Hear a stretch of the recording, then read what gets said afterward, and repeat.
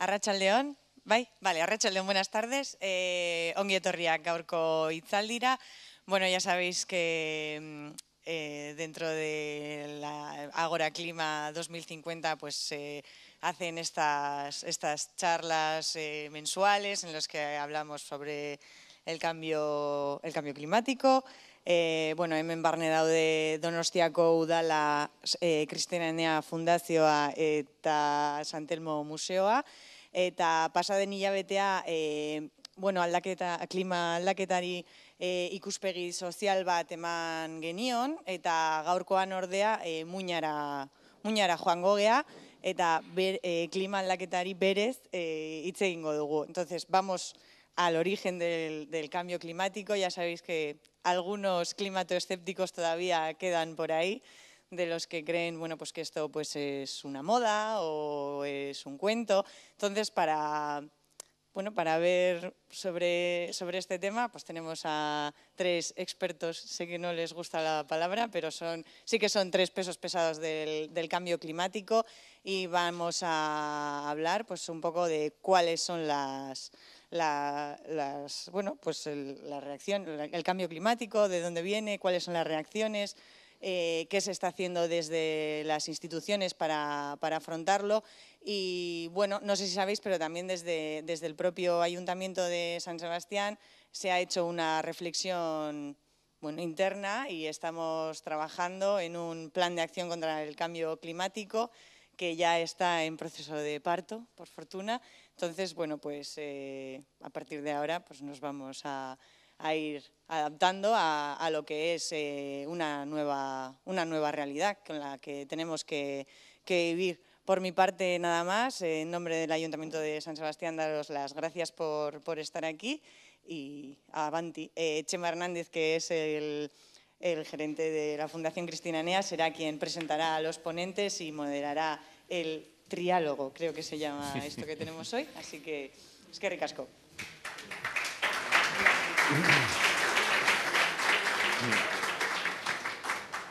Eskerrik asko Ane, eskerrik asko Zubinoski etortzegatik berriro ere zuen aurpegiak eh, hemen egote, ikustea posa ematen dit. Are gehiago, okazio hontan eh, erdian dazkagu, normalen erdian dazkagu maia, kendu indegu, eta nik uste dut horrek launduko du nun bait eh, komunikazioa eh, areagotzeko edo beto erresteko. Eh, muchas gracias por venir, me alegro ver caras habituales y me alegro ver, me alegra ver también caras diferentes, caras novedosas. Eh, cuando Anne ha comentado que todavía queda algún escéptico, lo, lo, lo, cierto es que yo pensaba, era escéptico pensando que iba a haber escépticos, pero hace no mucho me, me encontré con un escéptico europeo y además donostiarra, lo cual eh, me impulsó todavía un poco más para decir, bueno, este es el camino, tenemos que dar más información, tenemos que seguir aportando eh, elementos para la reflexión para realmente que, darnos cuenta que estos que son escépticos no tienen razón para ser escépticos, por lo menos desde mi punto de vista. Y este es un poco el marco en el cual se, de alguna forma se enmarca, valga la redundancia, este, este ciclo, este ágora, ¿no?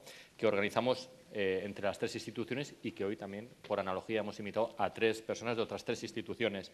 Y es cierto que hemos ido abordando eh, diferentes temáticas sectoriales que tienen que ver con el cambio climático, desde la energía, la movilidad, la compra, la gestión de los residuos. Y, sin embargo, creemos llegado el punto de hacer una pequeña parada, de hacer un pequeño stop y volver a repensar esto del cambio climático, volver a ver cuáles son los retos del cambio climático, del que ya está ocurriendo y del que eh, de forma natural va a ocurrir, por mucho que lo hagamos, por mucho que estemos eh, a favor de hacer acciones contra el cambio climático, los expertos, los escenarios ya prevén que va a seguir habiendo cambio climático, que la respuesta no va a ser inmediata, causa-efecto. Por lo tanto, el cambio climático va a llegar. El, reto está, tal vez, en poder mitigarlo y poder rebajarlo a futuro, pero va, a llegar, por lo cual tenemos que contemplar un escenario dinámico en un escenario estático. La adaptación, por ejemplo, puede ser uno de los elementos. Eh, y creo que hasta aquí voy a llegar mi aportación, o debería llegar mi aportación, porque, eh, como ha dicho Anne cuando, ha presentado esta, sesión, hay tres expertos eh, sentados cómodamente en el sofá de esta su casa y la idea es precisamente que, que esto se pueda convertir en una especie de tertulia con público, una especie de, eh, hombre, supongo que no es agradable tener a tanta gente mirando, pero si tratamos de abstraernos un poco, la idea es que podamos conseguir un clima, una atmósfera un poco de, relajo para poder comentar temas. Eh, y para estar más relajados, y en particular yo, voy a hacer los, los, deberes que siempre me ponen, y es que tengo que decirles que vamos a pasar unas hojitas por ahí en las cuales deben, si quieren, apuntar su, nombre y dirección para recibir información sobre este u otros eventos relacionados y también para proponernos temas eh, que desde su juicio, desde su punto de vista, puedan ser de interés para ser debatidas en estas sesiones. Dicho lo cual, eh, hecho los deberes, paso ya a, la parte más interesante eh, y que va a ser presentarles quiénes son nuestros tres ponentes. a mi derecha, inmediata, eh, está Jesús Alquézar Sabadie. Él es licenciado en Ciencias Políticas y Sociología por la Universidad del País Vasco y en Economía por la UNED. Y eh, en la actualidad es analista eh, socioeconómico de la, dirección, de la Dirección General para el Medio Ambiente de la Comisión Europea. De hecho, de Bruselas llegaste ayer, ayer, mismo.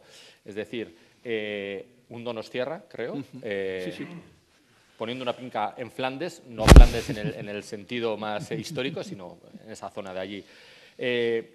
Es un experto en el tema, es un experto en todos los temas económicos, ambientales, relacionados también incluso con migraciones, eh, un tema que precisamente tratamos el, mes pasado, eh, autor también de diferentes publicaciones, libros, artículos científicos. Eh, si quieren saber mucho más sobre quién es, entren en Internet y se apabullarán con su currículum, como les ocurrirá con el resto de, las, de los invitados.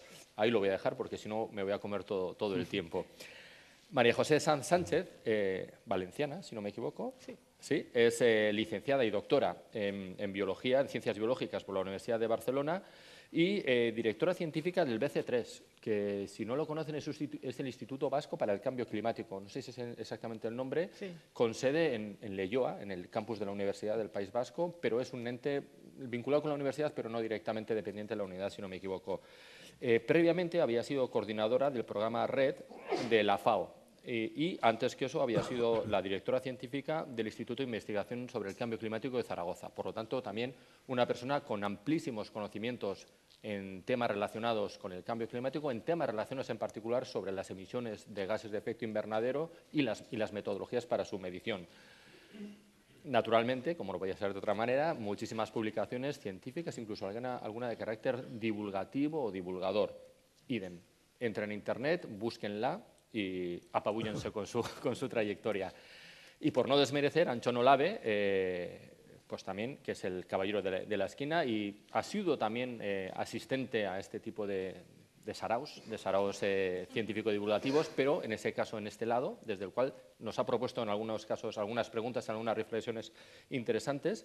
Es licenciado en Ciencias Económicas por la Universidad del País Vasco y máster en Economía y Gestión Ambiental por la Universidad de York, de, York, pero la de Reino Unido, no de Nueva York, si no me equivoco.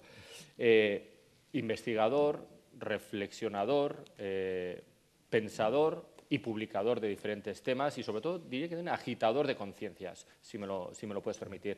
Recientemente ha escrito un libro, eh, Homo sapiens y biosfera, que yo creo que es un libro que condensa muy mucho el momento en el que estamos y en la encrucijada en la que como seres humanos nos, nos vamos a encontrar, si es que no nos hemos encontrado ya, y cuáles pueden ser los caminos.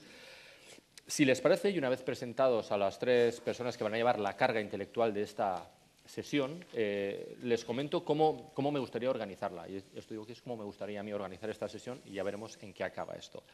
En algo interesante, sin duda, pero ya veremos cómo es la metodología. Mi idea, si os parece bien, si les parece bien a ustedes, es darles pues, unos 5 o 7 minutillos eh, para que hagan una primera, un primer acercamiento a la problemática, a la temática, desde sus ámbitos de trabajo, el ámbito internacional, en la Unión Europea, el ámbito más, eh, en caso de Zonolave, eh, digamos, de las desigualdades a la hora de afrontar el cambio climático en diferentes escenarios internacionales, sin perder de vista la perspectiva local, ¿por qué no? Aunque luego ya podremos entrar en materia, y a María José, pues para que nos hable también quizás más del ámbito de los ecosistemas y su propia respuesta o su contribución. En cualquier caso, esta es mi propuesta, que ellos hagan lo que les parezca. Así que si les parece, si os parece, los cinco minutillos, cinco o diez minutillos de, serie van para, para vosotros y que inicie quien que nos parezca necesario o apropiado.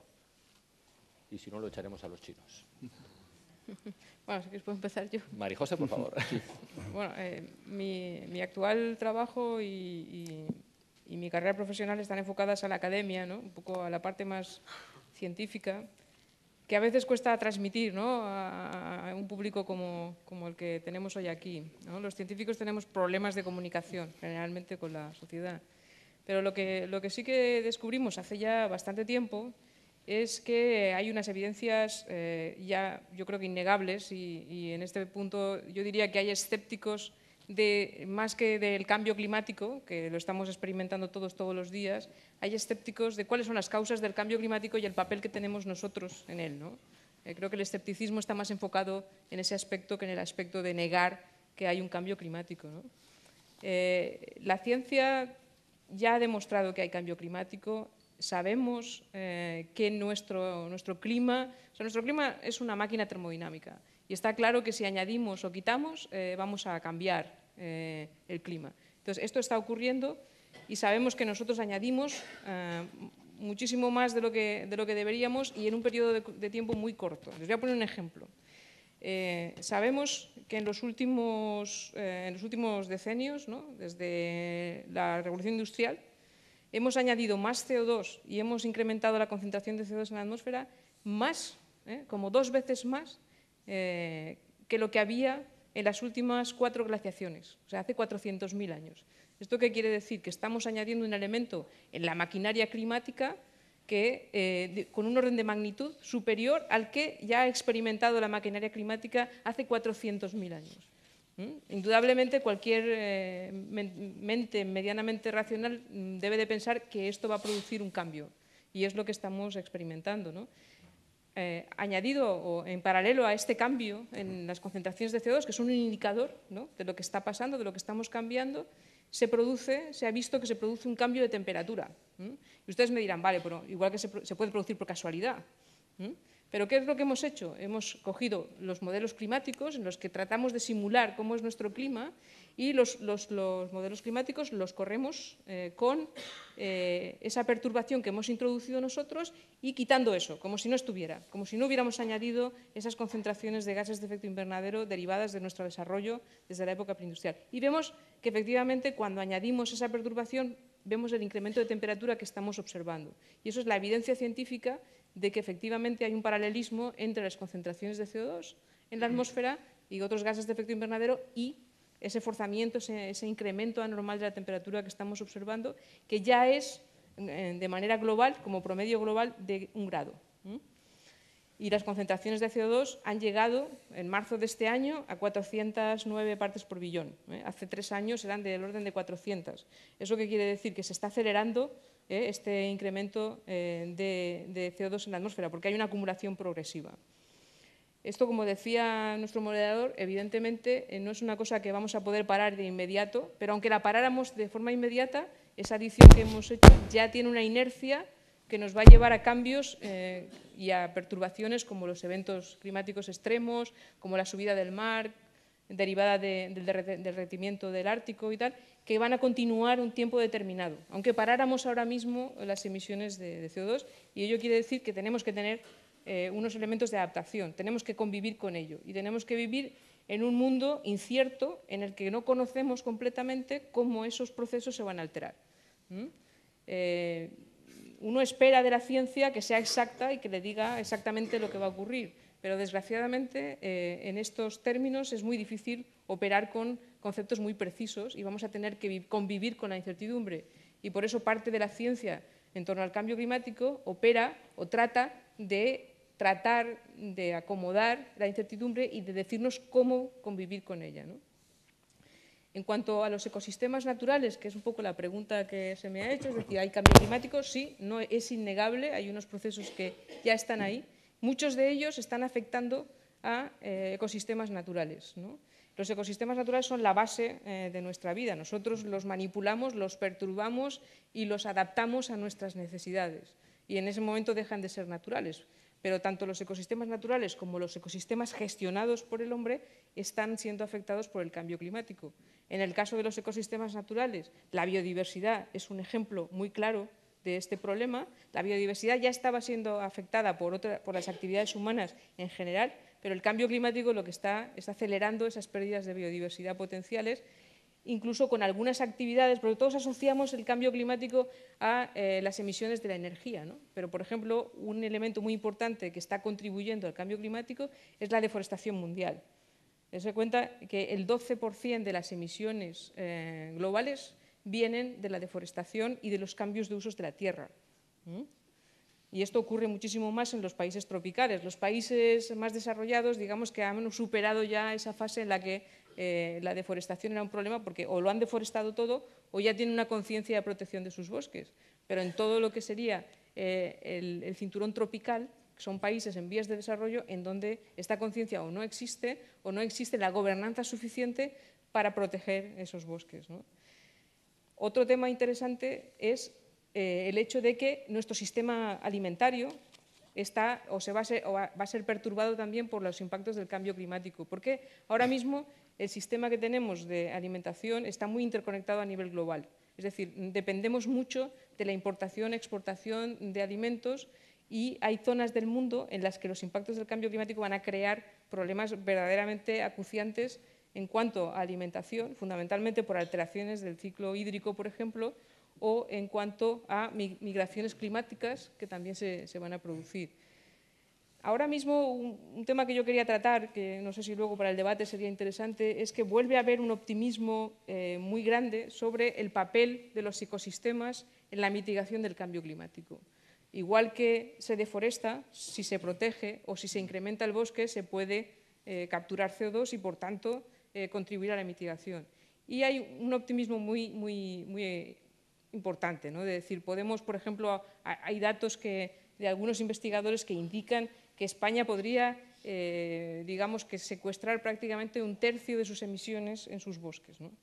E, estos escenarios son escenarios globales que, asumen ciertas cosas que cuando uno se va a la implementación local, y aquí quería ligar con la implementación local, son irrealizables. En teoría son practicables, globalmente son muy bonitos, son escenarios globales, portafolios muy interesantes de combinación de opciones, pero cuando uno se va a, la provincia de Vizcaya o se va al municipio eh, X, eh, es muy complicado de implementar. Por tanto, estos potenciales teóricos globales que se están trayendo a colación pues para, llegar a los, al 1,5 grados en lugar de 2 o para llegar a 2 con comodidad, hablando de un 20% de secuestro de carbono por ecosistemas naturales, son globalmente factibles, en teoría, pero probablemente no son implementables a nivel eh, práctico o a nivel local. Y son muy complicados de implementar porque están sometidos a barreras socioeconómicas muy importantes y que son difíciles de, determinar.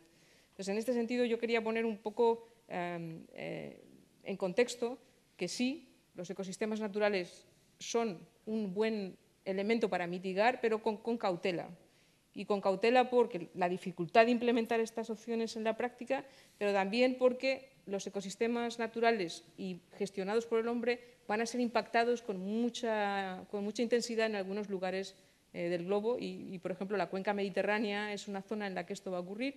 Incluso aquí, en, en el norte de la península ibérica, ya vemos que hay sequías que antes no existían y otro tipo de fenómenos, plagas que han llegado aquí que antes no estaban. Todo esto está relacionado con el cambio climático y eso va a eh, disminuir esa capacidad teórica que podían tener estos ecosistemas de mitigar el cambio climático. Por tanto, tenemos que tener ahí un elemento de adaptación muy importante también. Esto es muy curioso porque históricamente em, en, estas negociaciones mundiales, eh, de las que luego probablemente Anchón hablará un poco más, siempre se trató al principio de desvincular la adaptación y la mitigación y se, asociaba que los países desarrollados tenían que mitigar y los países en vías de desarrollo tenían que adaptarse. Y era un poco este diálogo norte-sur de diferenciación de los del sur y los del norte, ¿no? las obligaciones de los desarrollados y las necesidades de los países en vías de desarrollo.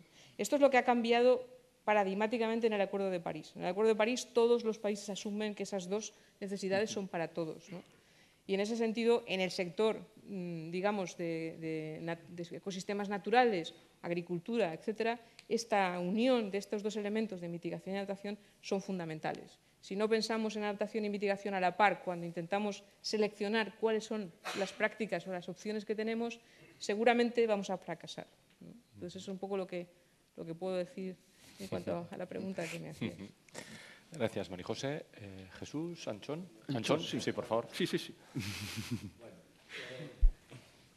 Yo lo que quiero eh, presentaros, así en estos 5 o 10 minutos iniciales, yo llevo 25 años en esta conversación del cambio climático y de alguna manera me he ido eh, especializando, me he ido, eh, yo vengo de la economía ambiental, entonces no soy físico, no soy químico, biólogo, entonces mi preocupación ha estado siempre más centrada en, vale, este es el marco que nos proporciona la ciencia del clima, ¿qué podemos hacer? desde la política con mayúsculas, desde la geopolítica internacional, cuáles, por dónde pasan, diríamos, las grandes soluciones para reconducir eh, un problema tan grave y tan importante, sobre el cual además no tenemos experiencia previa. Es decir, el cambio climático nos confronta a la humanidad con un problema totalmente diferente de los que hemos experimentado en el pasado.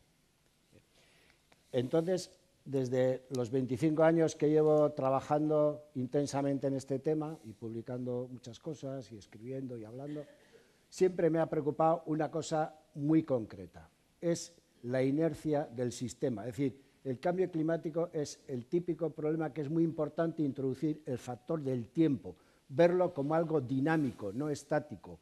El cambio climático surge como consecuencia no deseada del sistema energético mundial que creamos desde la revolución industrial, basado en el petróleo, el gas y el carbón.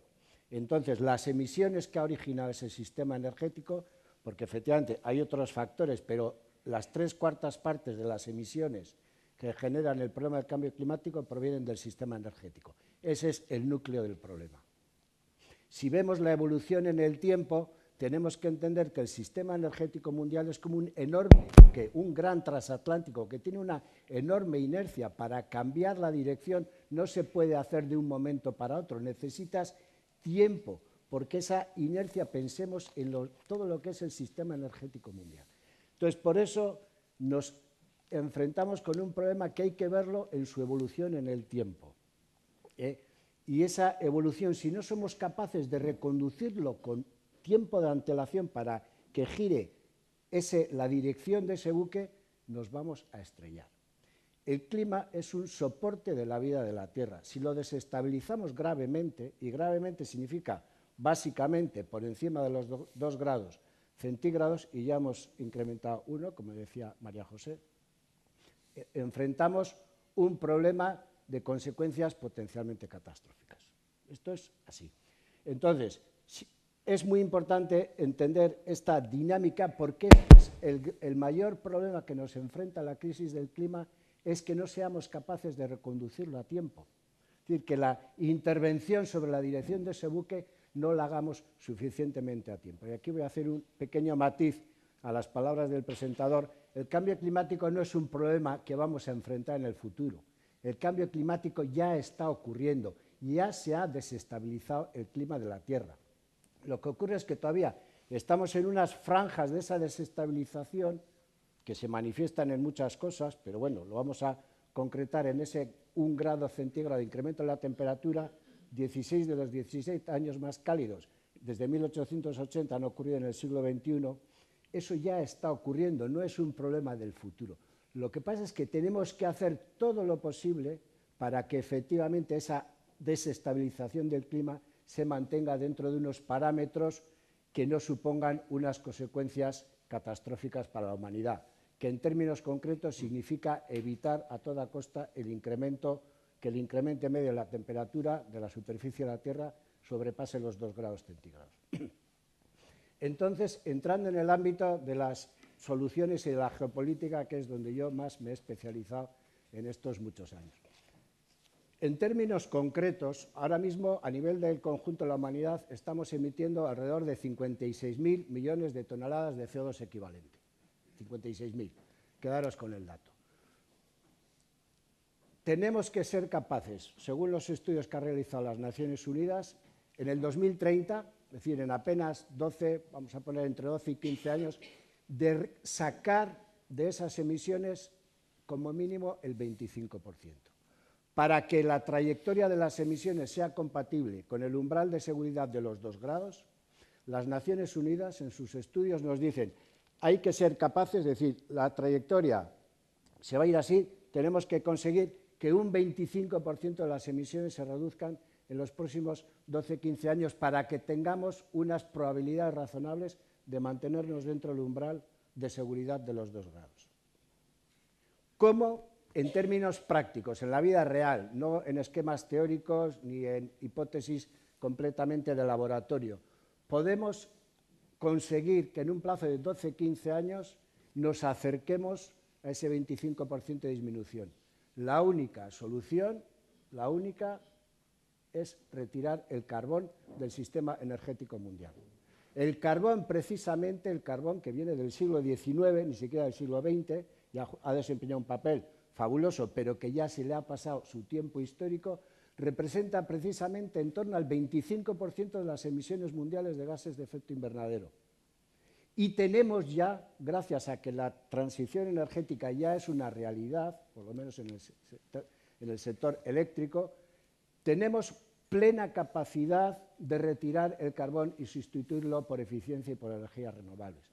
Aquí, en Europa, en China, en India y en el resto del mundo. Eso es, si no somos capaces de retirar el carbón en los próximos 15 años del sistema energético eléctrico mundial, es virtualmente imposible que le demos una mordida a esas emisiones porque haremos cosas, ganaremos eficiencia, pondremos renovables, pero estamos hablando de unas magnitudes que son a una gran macroescala para que en 2030, 2035 estemos en esa reducción. Esto es en cuanto a qué es lo que tenemos que hacer. Hay que hacer más cosas, pero ese es el núcleo de la solución. ¿Qué países? Y entramos en la geopolítica, cuatro pinceladas, porque estas cosas solo ocurren, yo siempre digo, si hay lo que se suele llamar grandes potencias, grandes economías que empujan en esa dirección. En la vida real, en el mundo de la geopolítica y de la realidad mundial, solo ocurren estas grandes transformaciones si hay grandes economías y grandes potencias empujando en la buena dirección.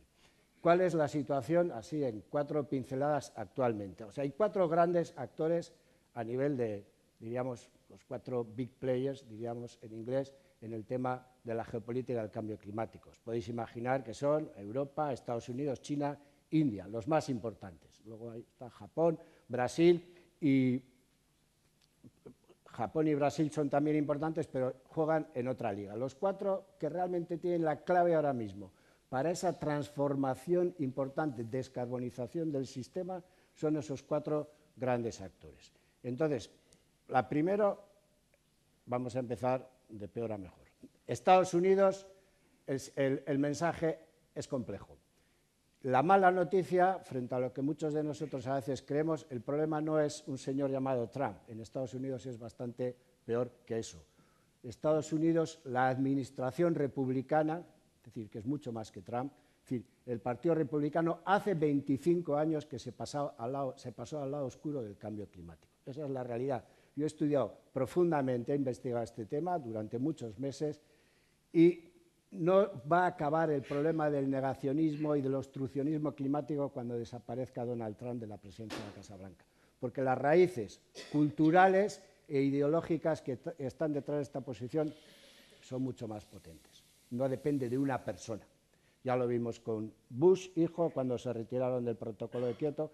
La última vez que en Estados Unidos se aprobó un acuerdo bipartido, bipartidista importante sobre el cambio climático fue en 1994, o sea, hace 24 años, después precisamente de la Cumbre de la Tierra de Río de Janeiro de 1992. Desde entonces, toda la maquinaria republicana se pasó al mensaje básicamente negacionista o obstruccionista. Pues a veces no hay que negar el cambio climático a nivel científico, simplemente pues, mirar para otro lado o ponerle palos a las ruedas a la solución.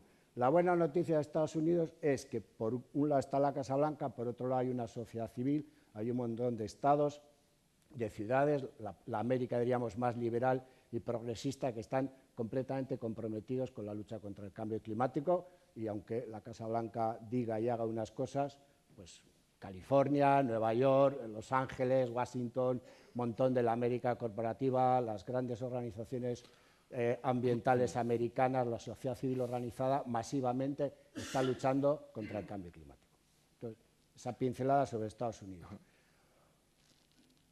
Europa, como luego ya nos va a hablar Jesús, simplemente decir eh, eh, muy brevemente, Europa ha sido la única gran potencia que en los últimos 25 años no ha bajado en ningún momento los brazos en la lucha contra el cambio climático. Ha habido errores en las políticas, sí que los ha habido, pero la visión y la estrategia siempre han sido las correctas. Ha habido un compromiso real de lucha contra el cambio climático desde 1992 hasta hoy en día ininterrumpido y que además se ha expresado en logros importantes que se pueden sintetizar en un dato.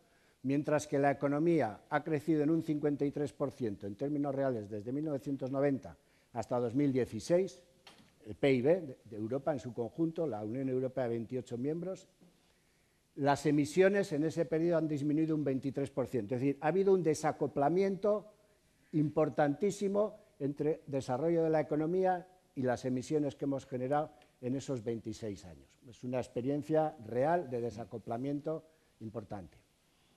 Para no alargarme más, decir, otra, eh, otro cambio importante en la geopolítica del cambio climático extraordinariamente relevante en los últimos años es la posición de China. China ha pasado de ser eh, la mayor parte del problema, hace apenas 10 años, a ser ahora mismo una parte importante de la solución porque han girado, están girando, vamos a decir, esto son cosas que llevan muchos años y llevan muchas, pero han girado claramente la posición de su visión, de su estrategia sobre la energía y sobre el clima. Y no lo han hecho por razones altruistas, lo han hecho fundamentalmente porque ellos se han dado cuenta, con estudios propios realizados por científicos chinos, tres evaluaciones sistemáticas sobre los impactos en China del cambio climático, en el último estudio participaron 500 científicos chinos, han llegado a la conclusión de que los impactos en China van a ser abrumadores, abrumadores, en temas completamente cruciales como son la agricultura y el acceso al agua. No me puedo extender en los detalles, pero es así. Entonces, ellos desde 2014 consideran el cambio climático un problema de seguridad nacional. Y unido al problema de la contaminación de las ciudades, que ya sabéis que ha sido gravísimo en los últimos años, realmente están moviendo, están moviendo en una buena dirección toda la, poderosa maquinaria económica energética de China. Solamente a daros un dato, los últimos dos, tres años han retirado 300.000 megavatios de proyectos de carbón que tenían en, su, diríamos, en la mesa de planificación 50.000 megavatios de centrales que ya se habían construido y las han paralizado, precisamente como parte de esta descarbonización creciente de la economía china. India es, ya termino, ya es buena parte de la clave de lo que nos va a ocurrir en el futuro. Dentro de 2030 China va a ser, India, perdón, el país más poblado del mundo, con 1.500 millones de personas. Ya está en torno a los 1.250, 1.300 millones en la actualidad. Es un país muy pobre todavía, está creciendo a un ritmo muy importante en los últimos 15 años, de 6, 7, 8% en términos de, su Producto Interior Bruto.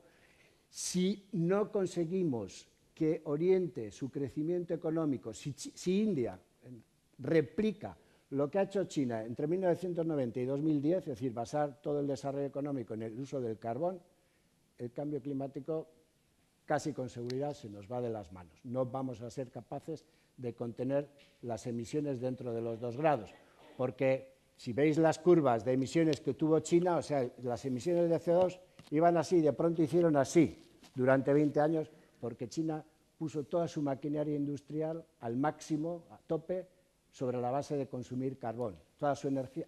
Afortunadamente eso ya está cambiando, pero hubo 20 años que fueron carbón, carbón, carbón. Habría una central térmica de carbón a la semana. Si India replica ese modelo, tenemos un gran problema. Entonces, hay que eh, insistir y ayudar y colaborar con tecnología, con ayuda financiera, con programas integrales con Europa, con los Banco Mundial, Fondo Monetario Internacional, etcétera, para que India, apoyándonos en el hecho crucial de que las tecnologías renovables han bajado drásticamente los costes en los últimos años, vaya orientando su modelo de desarrollo basado en las energías renovables.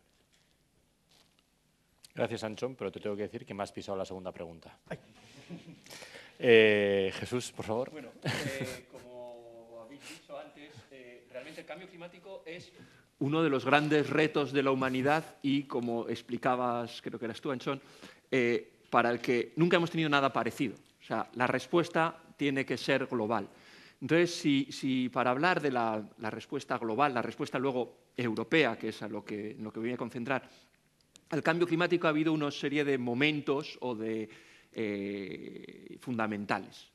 Hemos mencionado ya el Acuerdo de París 2015, en el cual 195 países eh, del mundo deciden trabajar juntos y eh, reducir las emisiones y no sobrepasar los dos grados. Idealmente llegar a 1,5. Parece que esto es bastante poco viable.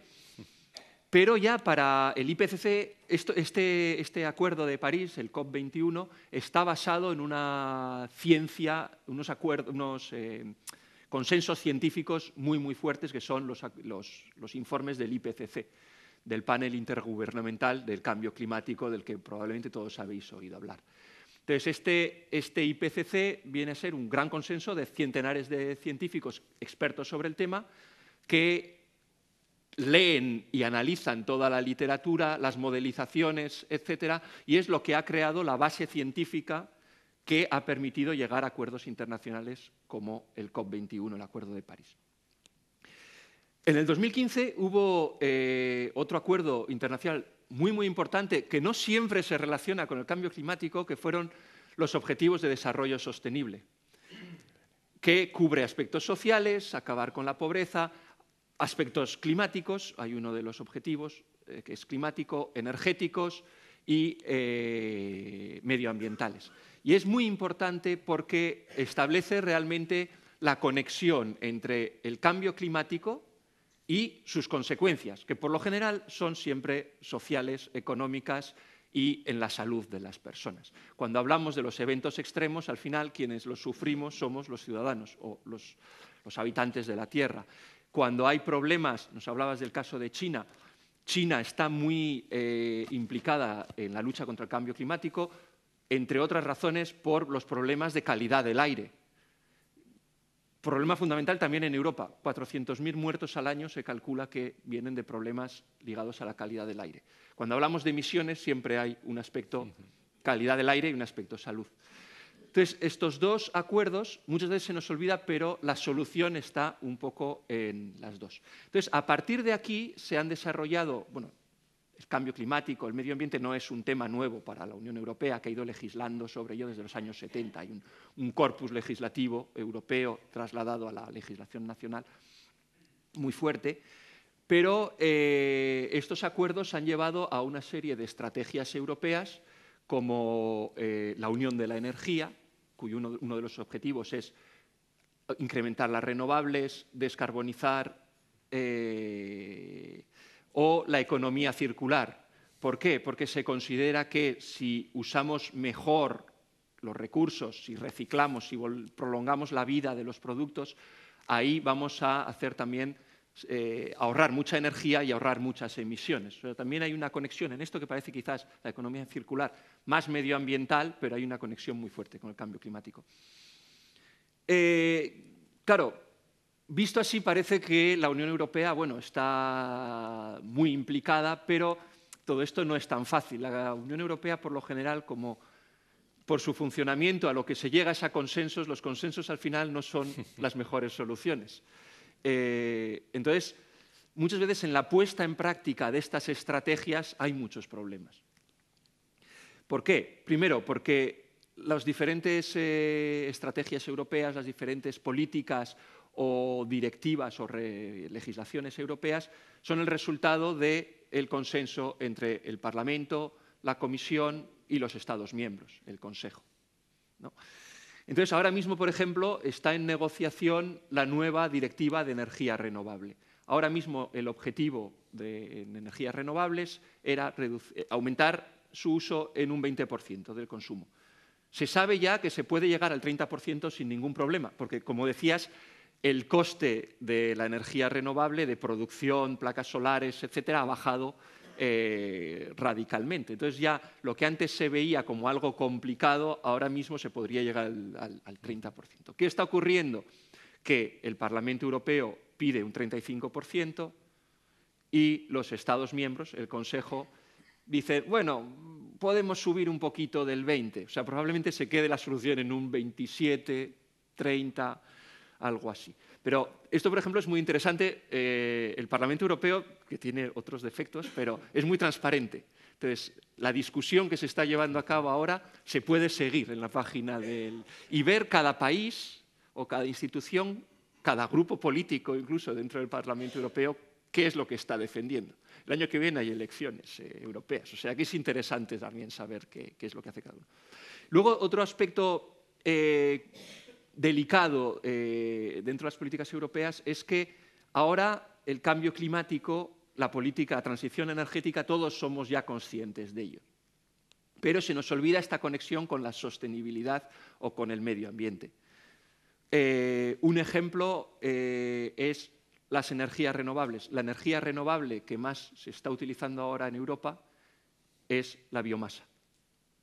Bueno, esto en los países nórdicos se gestiona muy bien. Hay mucho bosque, eh, se puede deforestar y plantar, pero eh, tiene muchos riesgos. Porque, como decías, sobre todo, como contabas tú, ¿no? en muchos países en vía de desarrollo hay una deforestación masiva para producir energía. Muchas veces para exportar esa energía, para hacer biofueles y exportarlos en concreto a Europa porque nos hemos fijado unos objetivos. Entonces, muchas veces esta conexión medio ambiente, salud, eh, cambio climático, en el día a día se nos está olvidando. Dicho esto, hay razones también para ser bastante optimista. Primero, porque hay una conciencia generalizada entre los ciudadanos, entre las instituciones, pero incluso en las empresas, del problema del cambio climático y de las oportunidades que eh, puede crear, por ejemplo, el desarrollo de energías renovables o el reciclaje, en, términos al menos de reducción de costes. Y eh, probablemente la política energética ha sido uno de los grandes éxitos en los últimos años.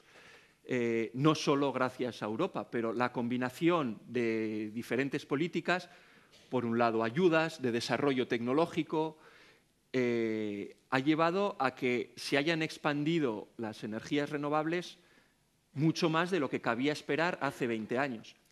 Hace 20, 30 años, cuando se hablaba de descarbonizar, había un factor que a nadie se le olvidaba poner, que era energía nuclear.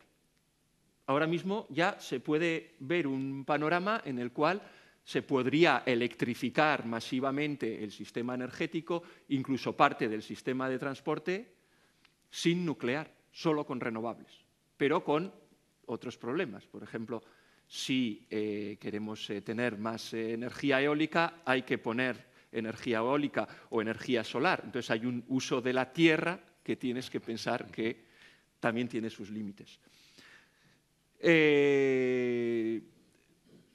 Y bueno, dicho esto, yo creo que ahora mismo el cambio climático es una de las políticas fundamentales de, la Unión Europea, sobre todo ligada a la energía, pero con estos riesgos que eh, no siempre se tienen en, cuenta.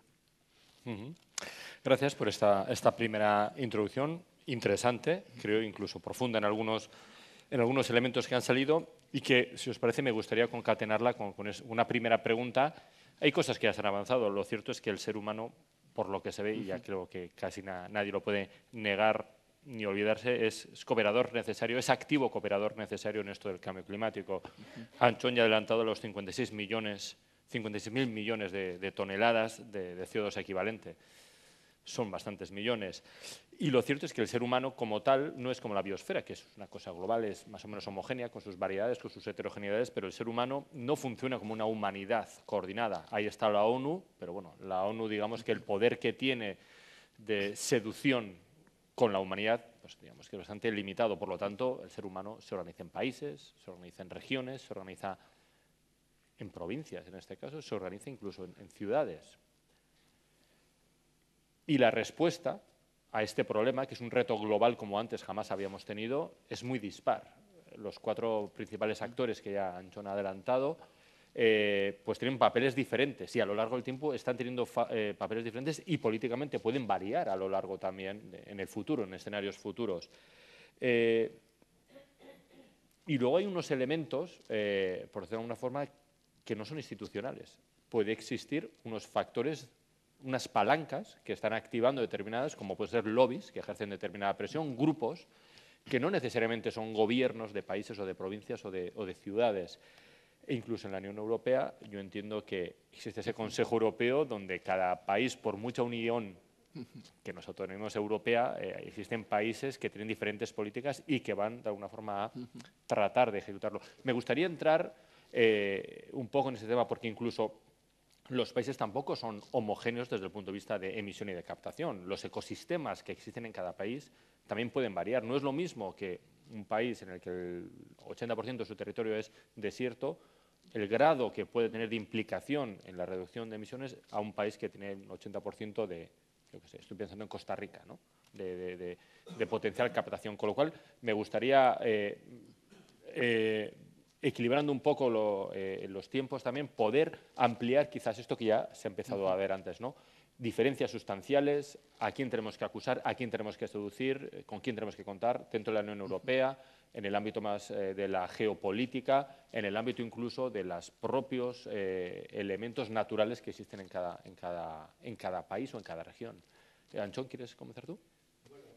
brevemente, a ver, esta pregunta que es muy interesante nos confronta con un tema que para mí es crucial y he tenido ocasión de insistir en bastantes de mis escritos en ese mensaje. Y es que eh, nos confronta con un problema de justicia, eh, de justicia brutal. O sea, el cambio climático hay que pensar que la inmensa mayoría de la humanidad ha contribuido poquísimo a la generación del problema. Si pensamos en los mil millones de personas que viven en África, en buena parte de Asia y la gran mayoría de Latinoamérica, es decir, seguramente cuatro de cada cinco personas del mundo han contribuido muy poco.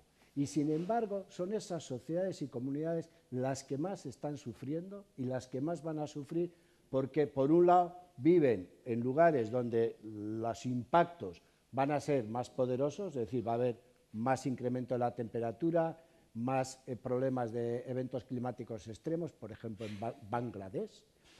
Pero además muy importante porque tienen menos capacidad, menos resiliencia, que se dice, para soportar esos impactos. Entonces, esto nos confronta con un dilema de justicia moral, moral no en el sentido religioso, sino en el sentido de, justicia, ¿no? de justicia y equidad entre, entre las sociedades que formamos parte del mundo. Porque es un problema que hemos generado sobre todo las economías desarrolladas y, sin embargo, los que más lo están sufriendo y más lo van a sufrir, no quiere decir que no lo suframos también aquí en Europa y sobre todo en el Mediterráneo y especialmente en la península ibérica, pero no se puede comparar con cómo lo van a sufrir en el subcontinente indio, en Bangladesh, en el, África subsahariana, en el Oriente Medio, que ya están teniendo temperaturas de 54 grados en el verano, es decir, prácticamente imposibles de vivir para el ser humano, si no es en un entorno protegido y artificial. Entonces, este tema de las desigualdades es muy importante porque nos obliga también a pensar y a reflexionar en unos términos que no tenemos experiencia en problemas de esta categoría tan global y con estas inercias que comentábamos antes. Por eso es muy importante también plantearlo en estos términos. No estamos solo ante un tema científico, tecnológico, económico, que es muy importante. Estamos ante un problema que exige enmarcarlo, el framing que dicen los ingleses, como un problema de justicia y equidad fundamental. Primero, con los que comparten con nosotros la tierra, pero luego no nos olvidemos con los que vienen detrás, porque vienen detrás otras generaciones. nosotros no somos propietarios de la tierra. Nosotros estamos aquí de paso. Y entonces los que van a venir por detrás, la generación de mi hija, que tiene 35 años, la generación de los hijos de nuestros hijos que vienen detrás, si no reconducimos este problema, se van a encontrar con un sistema climático completamente desestabilizado. Les vamos a entregar una tierra climáticamente desestabilizada con un gravísimo problema. Y entonces eso nos confronta también con un problema de justicia, porque tiene que haber justicia y equidad entre las generaciones. Nosotros no podemos entregar a los que vienen detrás un mundo completamente en bancarrota climática. Con esto lo dejo. Eh, porque pensamos que, lo que, la Convención de Cambio Climático no ha funcionado hasta el Acuerdo de París. Mm, si, ustedes cogen la Convención, que es un texto relativamente pequeño, y lo leen, se dan cuenta de que todo lo que ha dicho Anchón está recogido en la Convención. Eh, la las responsabilidades diferenciadas pero comunes, es decir, no todo el mundo ha contribuido de la misma manera. Eh, la necesidad de adaptación, la necesidad de mitigación, la necesidad de contemplar la seguridad alimentaria a la par que se mitiga o que uno se adapta al cambio climático. Todo está recogido en este documento. La pregunta es, este documento es de 1992. La pregunta es, ¿por qué, si ya teníamos todo eso en un documento que era un acuerdo multilateral, no hicimos nada ¿no? hace veintitantos años? Bueno, una de las respuestas es que se mantuvo esa confrontación entre los que tenían toda la responsabilidad de las emisiones históricas y los que no tenían esas emisiones, y esa confrontación impidió que hubiera un avance sustancial hasta el Acuerdo de París. Hubo avances relativos, como el Protocolo de Kioto, que mucha gente puede pensar que no eran ambiciosos, pero yo creo que hay que puntualizar que el Protocolo de Kioto creó las bases, ¿eh? por ejemplo, para, todo, para que mejoráramos la información sobre los gases de efecto invernadero, que no sabíamos nada en el año 92. Y ahora mismo tenemos un sistema de inventarios que todos los países están poniendo en marcha. Los países desarrollados ya tienen series de veintitantos años, los países en vías de desarrollo empiezan a tener series de varios años con metodologías comunes que permiten comparar. Esas son las bases que sentó el protocolo de Kioto. No consiguió ¿eh? unas metas muy ambiciosas en cuanto a la lucha contra el cambio climático. qué supone París? Bueno, París lo que supone, y, en parte debido a lo que Anchón ha dicho sobre, sobre la evolución que ha tenido China en cuanto a emisiones, al China incrementar sus emisiones en la, en la década eh, de los 2000, bueno, de hasta 2014-13, eh, lo que produjo fue la, la, sensación y la capacidad para reflexionar sobre que ya las responsabilidades históricas eran importantes, pero las responsabilidades actuales también lo eran. ¿no? Y eso cambió el tono de la conversación. Y me dice, ¿cuál es la flexibilidad? Porque hay muchas diferencias. Bueno, el Acuerdo de París, la ventaja que tiene son dos ventajas para mí, que son un cambio de paradigma brutal en lo que son las negociaciones multilaterales medioambientales. La primera, que se basa en la transparencia no en la obligación, sino en decir, no, yo tengo que ser transparente sobre lo que hago y todo el mundo tiene que saber lo que estoy haciendo y las consecuencias que tiene. Y el segundo es en que yo voy a definir cuáles son mis metas, ¿eh? en cuanto a calidad y en cuanto a cantidad. Es decir, si yo soy un país que tengo un sector forestal muy grande y creo que mi adaptación y mi mitigación tienen que estar basadas más en ese sector, voy a decir que eso es lo que yo voy a hacer. Si soy un país que tengo carbón y que voy a descarbonizar, yo voy a hacer eso. O sea que lo que se llaman las contribuciones nacionales ¿eh? determinadas son contribuciones que el país define en base a sus características y a su ambición. ¿Cuál es el tercer elemento? El tercer elemento es que yo puedo ser poco ambicioso ahora, pero el, acuerdo me obliga a ser cada vez más ambicioso. O sea, no puedo ir para atrás. No puedo decir, ahora quiero un 20% y mañana quiero un 15%. No, mañana tengo que querer más de un 20% de reducción de emisiones. Y el elemento que yo creo que ayudó bastante a que todos los países, también los países que iban a sufrir las consecuencias del cambio climático, de alguna forma también se unieran a esta voluntad común de mitigar al cambio climático y adaptarnos al cambio climático fue el poder introducir elementos de adaptación eh, en las contribuciones nacionales. Es decir, que la adaptación pasa a ser un elemento importante del Acuerdo de París que sea transparentemente comunicado y que sepamos cuánto se está apoyando la adaptación en estos países que van a sufrir esos impactos. O sea que yo les intentaba hacer una reflexión sobre cuál es la historia, ¿no? y en realidad todos los elementos que hay en el Acuerdo de París, todo lo que estamos hoy sabemos que es importante, ya está en la Convención, y el texto es de 1992. Pero ha habido una serie de circunstancias que han impedido que eso evolucionara más rápido, desgraciadamente, ¿no? porque imaginaros, si hubiéramos hecho lo que estamos haciendo ahora hace 20 años, pues ahora estaríamos en una situación mucho mejor. China no hubiera incrementado probablemente sus emisiones eh, casi el triple de lo que tenía antes del año 2010 y estaríamos en una situación mucho mejor. Pero para que China se diera cuenta de que tiene un problema, tuvo que Es como siempre, ¿no? Uno tiene que tropezar con la piedra para saber que tiene, que tiene un problema, ¿no? Sí, uno de los grandes cambios, a mi juicio, desde, desde la Convención, y probablemente es uno de sus éxitos, aunque ha tomado mucho tiempo, ha sido la toma de conciencia del, del problema. Hablaba antes del IPCC, que ha sido un factor fundamental, el desarrollo de la ciencia climática eh, y no solo ese desarrollo de la ciencia climática, sino la transmisión al ciudadano. Esto ha hecho que al ciudadano y a las autoridades, ¿no? a la, al mundo político. Este ha sido uno de los grandes eh, elementos que han permitido que el cambio, que estemos ahora en una transición energética, que estemos ahora en un proceso de lucha contra el cambio climático explícita y clara en las políticas. Y, esto ha llevado también, otro aspecto fundamental de los últimos años, es que las propias empresas eh, por diferentes razones, porque se les ha obligado en la legislación o eh, porque han visto que hay un negocio eh, latente e interesante, eh, tanto en, en, energías renovables como en otras ecoinnovaciones,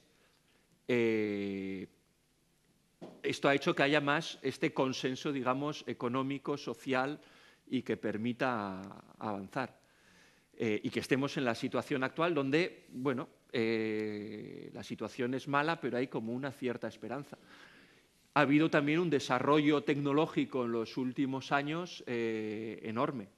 En tecnologías como las renovables y la bajada del precio, muchas veces gracias a China, cuando hablamos de los paneles solares, solares que, que, que ahora son baratos, es gracias a la producción masiva en China. ¿no? Eh, pero sí, yo creo como que desde lo, el 90 eso ha sido el, el cambio fundamental. ¿Por qué no? Es muy interesante esta, una ampliación, porque ¿por qué teniendo en 1992 esta convención tan buena hemos estado atascados durante 25 años? Ahí es la, esa es la geopolítica. Uh -huh. Es decir, porque una de las cosas que tenemos que tener claro es que, que, hay, que, que tengamos un buen documento de base, tenemos el Acuerdo de París, es una condición necesaria, pero nunca es suficiente.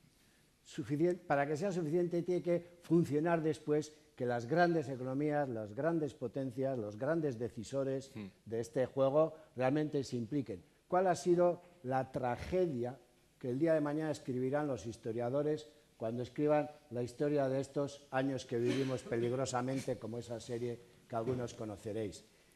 El drama ha sido que el hegemón político, tecnológico, militar y geopolítico del mundo, que es Estados Unidos, nunca en estos 25 años, hasta la segunda legislatura de Barack Obama, nunca ha estado tirando de este carro. Mm. Europa se ha encontrado sola durante 25 años, porque como efectivamente todavía estábamos en un marco de referencia de las responsabilidades conjuntas pero diferenciadas, desde 1992 hasta el Acuerdo de París, ni China ni India se sentían especialmente aludidas de que tenían que mitigar sus emisiones. Decían, eso es una cuestión de las economías ricas.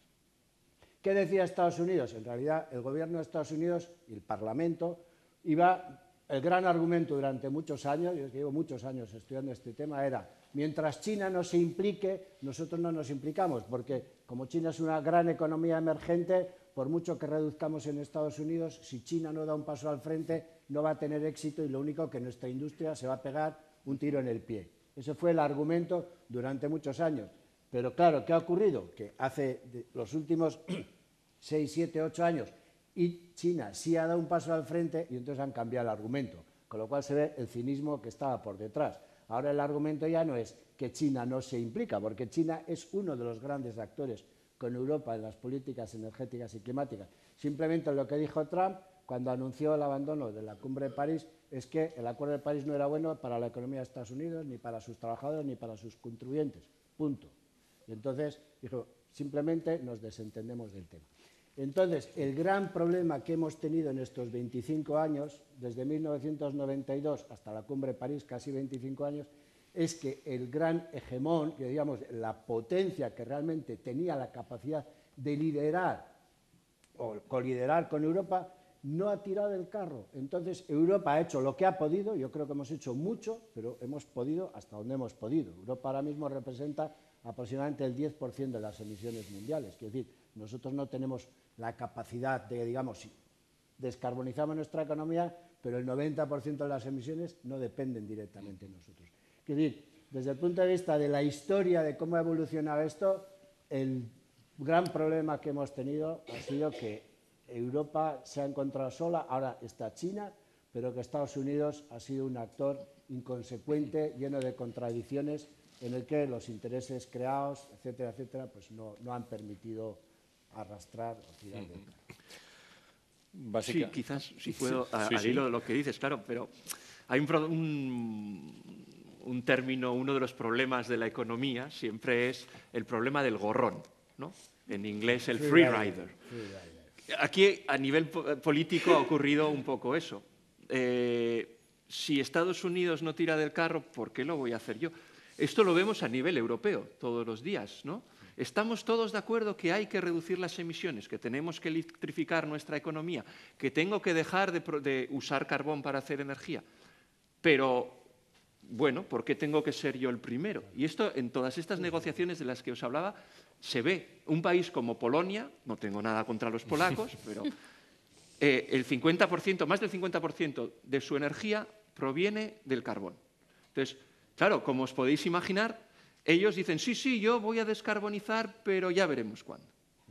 Y aunque se les diga, oye, mira, que tienes graves problemas ya no solamente para el cambio climático, de calidad del aire, o, cuando se les dice una de las primeras cosas, una de las primeras políticas o principios políticos que se defiende a nivel internacional por la Unión Europea es acabar inmediatamente con los subsidios a las energías fósiles. Porque si estamos subvencionando el carbón, seguimos usándolo. Pues cualquier día, en cualquier discusión, yo os lo puedo decir de mi día a día en el, trabajo, con alguien, un representante de Polonia, siempre cuando se preparan un briefing ¿no? para el polaco, siempre te va a decir, quítame esto de los subsidios. Y dices, oye, no, que esto es un acuerdo que viene de decisiones del Consejo en el que vosotros participéis yo te estoy copiando literalmente. Pero está este fenómeno del gorrón, del free rider, que hace que al final uno por otro la casa sin barres, que lo haga otro. Pero quizás, y, un poco es verdad que Europa ha hecho todo lo que ha podido y, probablemente no podía hacer más, pero sí que es cierto que en las negociaciones multilaterales Europa siempre tiene una postura de debilidad porque tiene que llevar una postura de consenso de los 27. Y eso, eh, en unas negociaciones multilaterales, eh, yo estuve cinco años en el, Secretariado de la Convención apoyando negociaciones, es muy peligroso, ¿eh? porque llegas tarde. O sea, para cuando te has, acordado entre los 27, has llegado tarde para realmente agilizar o tomar una decisión o empujar a los demás a que tomen una decisión. Y eso es una, desventaja que, Europa ha tenido en las negociaciones multilaterales bastante importantes. ¿no? Y ha habido fracasos eh, brutales, ¿no? como la Convención de La Haya en el año 2000, ¿no? en el que Europa tuvo un papel relevante ¿no? en, el, en el fracaso porque no consiguieron ponerse de acuerdo. Yo recuerdo eh, vamos, eh, intervenciones del ministro alemán, que entonces era verde, del Partido Verde, totalmente contradictorias. Nosotros solíamos decir que se levantaba verde y se acostaba morado, ¿no? Porque, o sea, eh, porque tenía el, lobby de la, de la, industria alemana presionándole, intentaba que los otros países tomaran decisiones por Alemania, pero o sea, Europa tiene contradicciones que le impiden a veces ser el motor que agilice este tipo de negociaciones. Es cierto que la presidencia francesa hizo muy buen trabajo en París. ¿eh? También es cierto que tenían un asesor muy bueno detrás. Había una persona detrás del ministro que eh, había seguido la convención desde sus inicios y tenía una idea muy clara de lo que se podía y no se podía hacer. Pero también es cierto que sin el fracaso de Copenhague no hubiera habido París. ¿eh?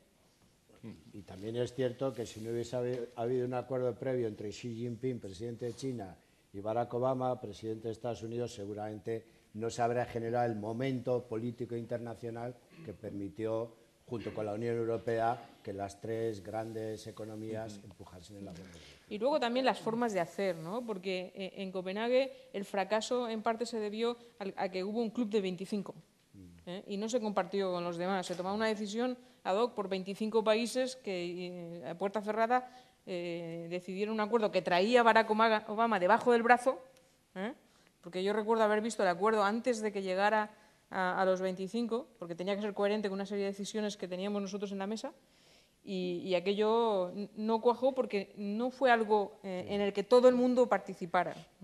Entonces, no era ni el momento ni las formas de, hacer. O sea, que aquí en estos, en estos eh, temas eh, es muy importante elegir el momento, o sea, que el momento tenga las circunstancias facilitadoras, pero también la forma de hacerlo. Y la Convención de Cambio Climático es el único ejemplo que existe en donde el consenso, es decir, todo el mundo puede parar eh, las decisiones de la Convención. Hasta la isla del Pacífico más pequeña, que va a desaparecer con el cambio climático y está pidiendo asilo en Australia. ¿eh?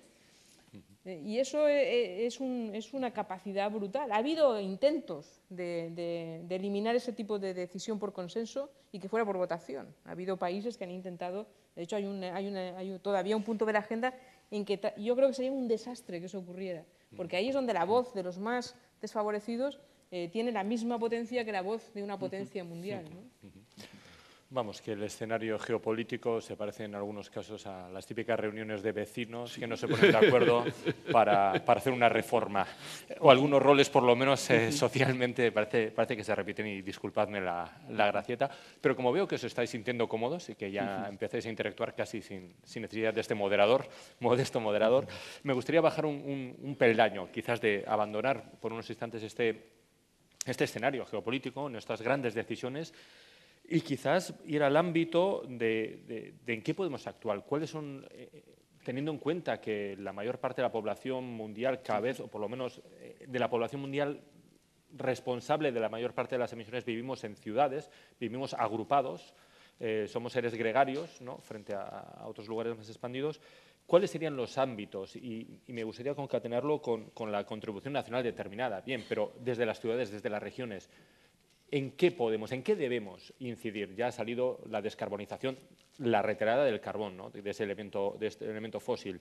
Aunque una persona, un geólogo como yo esté mal que lo diga, hay que sí, no hay que apostar por el carbón. Se ha hablado también de la capacidad que puede tener para secuestrar el CO2 equivalente la masa forestal.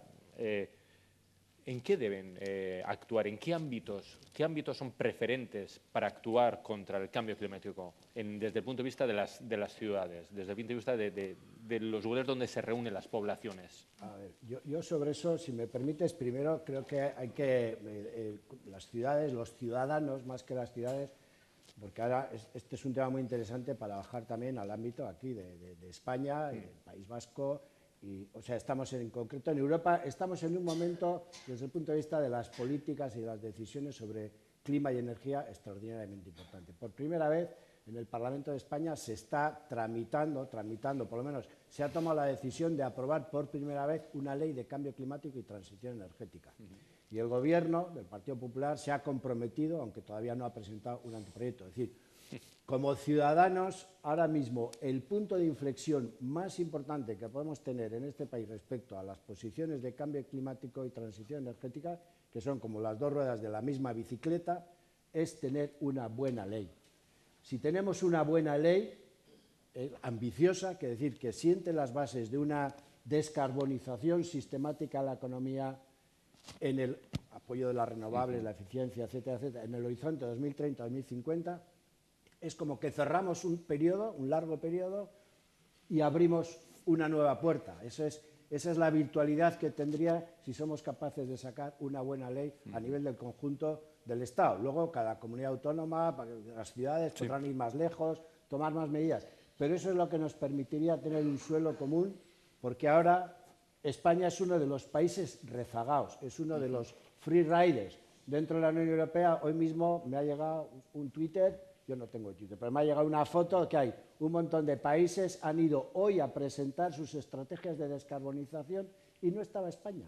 Y ha circulado unos Twitter diciendo, ¿dónde están nuestros representantes ahí con un proyecto que nos haga estar, diríamos, entre, entre los países que tiran del carro? ¿no? Entonces estamos rezagados, tenemos un gobierno que en estos temas se está quedando adormilado, por no decir algo un poco más duro. ¿no?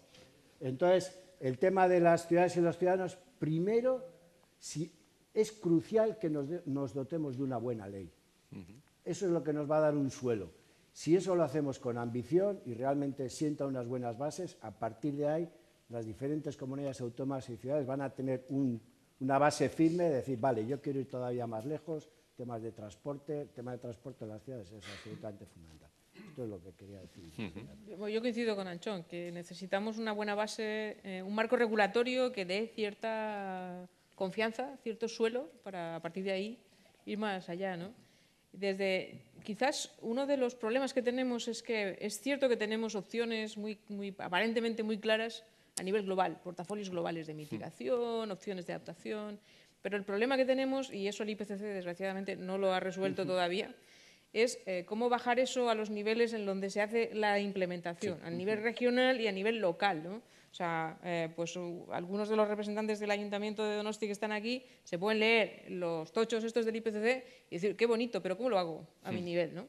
Y ese problema no está resuelto. Y yo creo que la única forma de resolver ese problema es tener un buen marco y luego aprender haciendo. ¿eh? O sea, que, que, nosotros, los que hacemos los portafolios globales, aprendamos de cómo los locales intentan implementar esto y al final encontremos un punto de encuentro. Es decir, la ciencia no va a resolver el cómo implementar a nivel local, pero podemos andar juntos para aprender unos de otros de cómo hacer esta implementación local. ¿no? Y hay que experimentar, pero hay que experimentar con un marco regulatorio, porque sin eso, eh, eso ocurrió, por ejemplo, con los proyectos de desarrollo limpio que había en el protocolo de Kioto. Empezaron como proyectos en países en vías de desarrollo, no había marcos regulatorios y, aquello fue un, desmadre. Al final tuvieron que crear un programa de actividades para poder porque el gobierno, los gobiernos eran incapaces de controlar aquella proliferación de proyectos, lo que es una buena indicación de que siempre vamos a necesitar un buen marco regulatorio y una buena ley de cambio climático sería lo ideal. Yo creo que aquí es cierto que nuestro gobierno no es muy propicio a este tipo de cosas, ¿no? y creo que en este punto en el que estamos, en el que han prometido que vamos a tener una ley de cambio climático, la presión de lo social es muy importante. O sea, los ciudadanos, las instituciones, eh, las, ONGs eh, tienen que presionar para que esto ocurra lo antes posible, porque si no se va a diluir, va a ir de para acá para allá y al final igual no tenemos, no tenemos nada al final del camino. ¿no?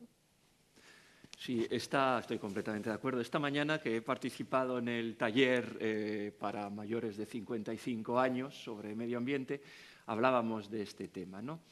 Es curioso porque eh, el gobierno español está poniendo como argumento para no hacer esta ley de cambio climático que vamos a ver lo que dice Europa. Entonces, esta mañana he explicado todo eh, un poco el proceso decisional en Europa. Esto es un cuento. O sea, el, eh, gobierno español es Europa. Las posiciones que hay en el Consejo, España es uno de los grandes países europeos. O sea, ellos son también los que están decidiendo lo que se decide a nivel europeo. En el Parlamento Europeo, el Partido Popular Europeo es mayoritario, no nos olvidemos. Dentro del propio Partido Popular Europeo hay posiciones luego sobre temas energéticos y climáticos, bueno, eh, extremas. ¿eh? No, creo que sea tan fácil gestionar esto. Eh, entonces, claro, yo estoy completamente de acuerdo en que nosotros ciudadanos tenemos un papel fundamental. Primero porque votamos, os decía antes, año que viene hay elecciones europeas. Eh, igual, si somos conscientes de la importancia del cambio climático, es uno de los factores que tenemos que tener en cuenta cuando vayamos a las urnas. Pero luego hay también eh, acciones de lo que yo suelo llamar votar con la cartera, ¿no? obligar a las empresas a ser más verdes, a ser, eh, sí, a, tener más en cuenta el cambio climático, el medio ambiente, etc. Eh, hay un estudio reciente de Eurostat que es sobre la ecoinnovación, las innovaciones con beneficios para el medio ambiente. Y el factor más importante nombrado por las empresas europeas es la reputación, más que la legislación o la reducción de costes. Son los tres grandes eh, factores. ¿no? La reputación, o sea, las empresas quieren ser, o al menos parecer, eh, verdes. Entonces, eh, esto para nosotros ciudadanos es un aspecto fundamental, porque quiere decir que según lo que estamos comprando, según los hábitos que tenemos de consumo, tenemos un papel fundamental para también mover a grandes empresas en un sentido o en otro. Esta mañana contaba también una anécdota, hay una gran estrategia europea, os he mencionado antes, que es la economía circular. Cuando llegó Juncker a la presidencia de la Comisión, esta estrategia se acababa de, publicar o de aprobar y fue, lo primero que hizo fue suprimirla. Y a los pocos meses eh, dijeron, no, la hemos suprimido porque vamos a hacer algo más ambicioso. Y se volvió a publicar prácticamente siendo la misma. ¿Qué había ocurrido entre medio? que muchas grandes empresas alemanas, muchas de ellas, Siemens, etcétera, habían hecho presión sobre la, sobre la, Comisión Europea o sobre las instituciones diciendo, oye, que es que esto que estáis hablando del reciclaje, etcétera, lo estamos haciendo ya. Ahora no podéis decirnos que los gorrones que no lo han hecho son los que tienen razón. ¿no? Claro, luego estas empresas siempre juegan un juego un poco perverso. ¿no? Ellos tienen su mercado, que quieren explotar al máximo y sus inversiones mientras preparan el terreno para, el final. Y luego, como ciudadanos en, eh, ciudadanos, en nuestro día a día podemos hacer muchísimo por el cambio climático. Aislar bien nuestros apartamentos, eh, apagar la luz cuando no estás en la habitación, cosas que hacían nuestras abuelas. Apaga la luz que es caro. Aquí, bueno, igual no es tan caro, pero eh, hay una conciencia que hay que tener de ser eficiente en el uso de los recursos. Eh, en, las compras que hacemos, eh, acordaos también de nuestras abuelas, compraban un abrigo bueno que les duraba muchos años. Ahora somos unas fashion victim y cambiamos de ropa que compramos en Zara y en H&M, barata, cambiamos todos los años, porque bueno, el modelo de este año me gusta más. ¿no? O sea, hay unos hábitos de consumo y de la vida de todos los días, usar la bicicleta, para ir a trabajar o los transportes públicos, que son súper importantes. Si a eso añadimos, como decías tú, políticas locales de ir electrificando los autobuses, aquí hay autobuses 100% eh, eh, eléctricos, que, bueno, en Bruselas lo veremos, eh, ahorita a saber cuándo. En francés se dice con le poules auront des dents, cuando las gallinas tengan dientes.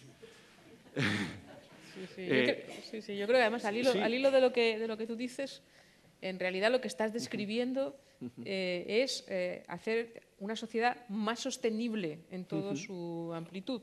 O sea, no solamente tratar el tema del cambio climático, sino el tema de que los recursos en general son limitados. ¿no? Y estamos en unas, economías de consumo. ¿no? Eh, no sé quién me comentaba el otro día que, bueno, que hay, o no sé si hoy, que hay empresas que empiezan a vender servicios en lugar de vender productos. ¿no? Entonces, ese, cambio de mentalidad, ¿no? entonces, ¿qué ocurre? Esa empresa tiende, como vende un servicio, tiende a producir un producto más duradero, porque para ella es más económico, si le dura más, eh, porque vende el servicio, no vende el producto. ¿no? Entonces, ese tipo de cambio de mentalidad es lo que también, y eso no tiene, no tiene que ver solo con el cambio climático, tiene que ver con la sostenibilidad de nuestra sociedad en general ¿no? y de cómo utilizamos los recursos. Sí, a mí me ha venido también de la conversación que tenemos, una dentro de esta serie documental que os la recomiendo extraordinariamente, que es eh, Years of Living Dangerously, los años que vivimos peligrosamente, de 10 capítulos sobre cambio climático en diferentes aspectos, que viajan a Bangladesh, en India, en Estados Unidos, temas de la salud, etc. Hay un momento que el periodista, periodista del New York Times, famoso Friedman, le entrevista a Barack Obama y le dice una de las cosas, dos importantes que le dijo es, por un lado, es un problema de seguridad nacional para nosotros, porque el cambio climático va a provocar, si no lo reconducimos, el colapso de un montón de estados. Seguramente todos estábamos pensando en ese momento Oriente Medio, Norte de África, etcétera, etcétera, estados muy frágiles y eso se convierte, todas esas dinámicas, como ha ocurrido en Siria, luego si tenemos tiempo se puede ampliar, son también generación de hervideros de gente súper radical, eh, terroristas, islamistas, etc. Pero la segunda que dijo, que viene a cuento de lo que estamos hablando, es para nosotros políticos es muy importante sentir la presión de la ciudadanía. Nosotros tenemos que sentir en el cogote que la ciudadanía está demandando, porque como políticos eso es el aliento que nos obliga a movernos, como diciendo, esto eh, es muy importante que llegue a Washington, a los congresistas, etcétera, esa voz de muchas personas que dicen, este es un problema importante. Y al hilo de esto, el otro día me decía gente del gobierno vasco que existen estadísticas que ellos tienen en el Departamento de Medio Ambiente del Gobierno vasco, que dicen que el 93% de los vascos están muy preocupados por el tema del cambio climático. Si bien es verdad que luego muchas veces no se sabe muy bien qué hacer, o sea, traducir esa preocupación en acciones, en acciones en, en el sentido que estamos comentando, ¿no? Pero yo siempre insisto, lo dije también en la conversación que tuvimos en la SED, primero como ciudadanos, o sea, nosotros elegimos a los políticos que nos representan democráticamente también en función de esto, es decir, yo quiero unas personas que me representen, que consideren que esto, es algo, que esto importante, si miran para otro lado, pues simplemente yo no me voy a sentir representado. Muy importante, este tipo de foros, yo, yo creo que es realmente y hay que decirlo, no creo que haya muchas ciudades en España ahora mismo que lleven dos años organizando mensualmente una conversación continua con expertos de diferentes tipos sobre el cambio climático, porque luego las 100 personas que estamos aquí vamos a hablar con otros amigos, con nuestras parejas, con nuestros hijos, etcétera. Eso se convierte en una conversación también que se traduce en sensibilización, en concienciación y en presión.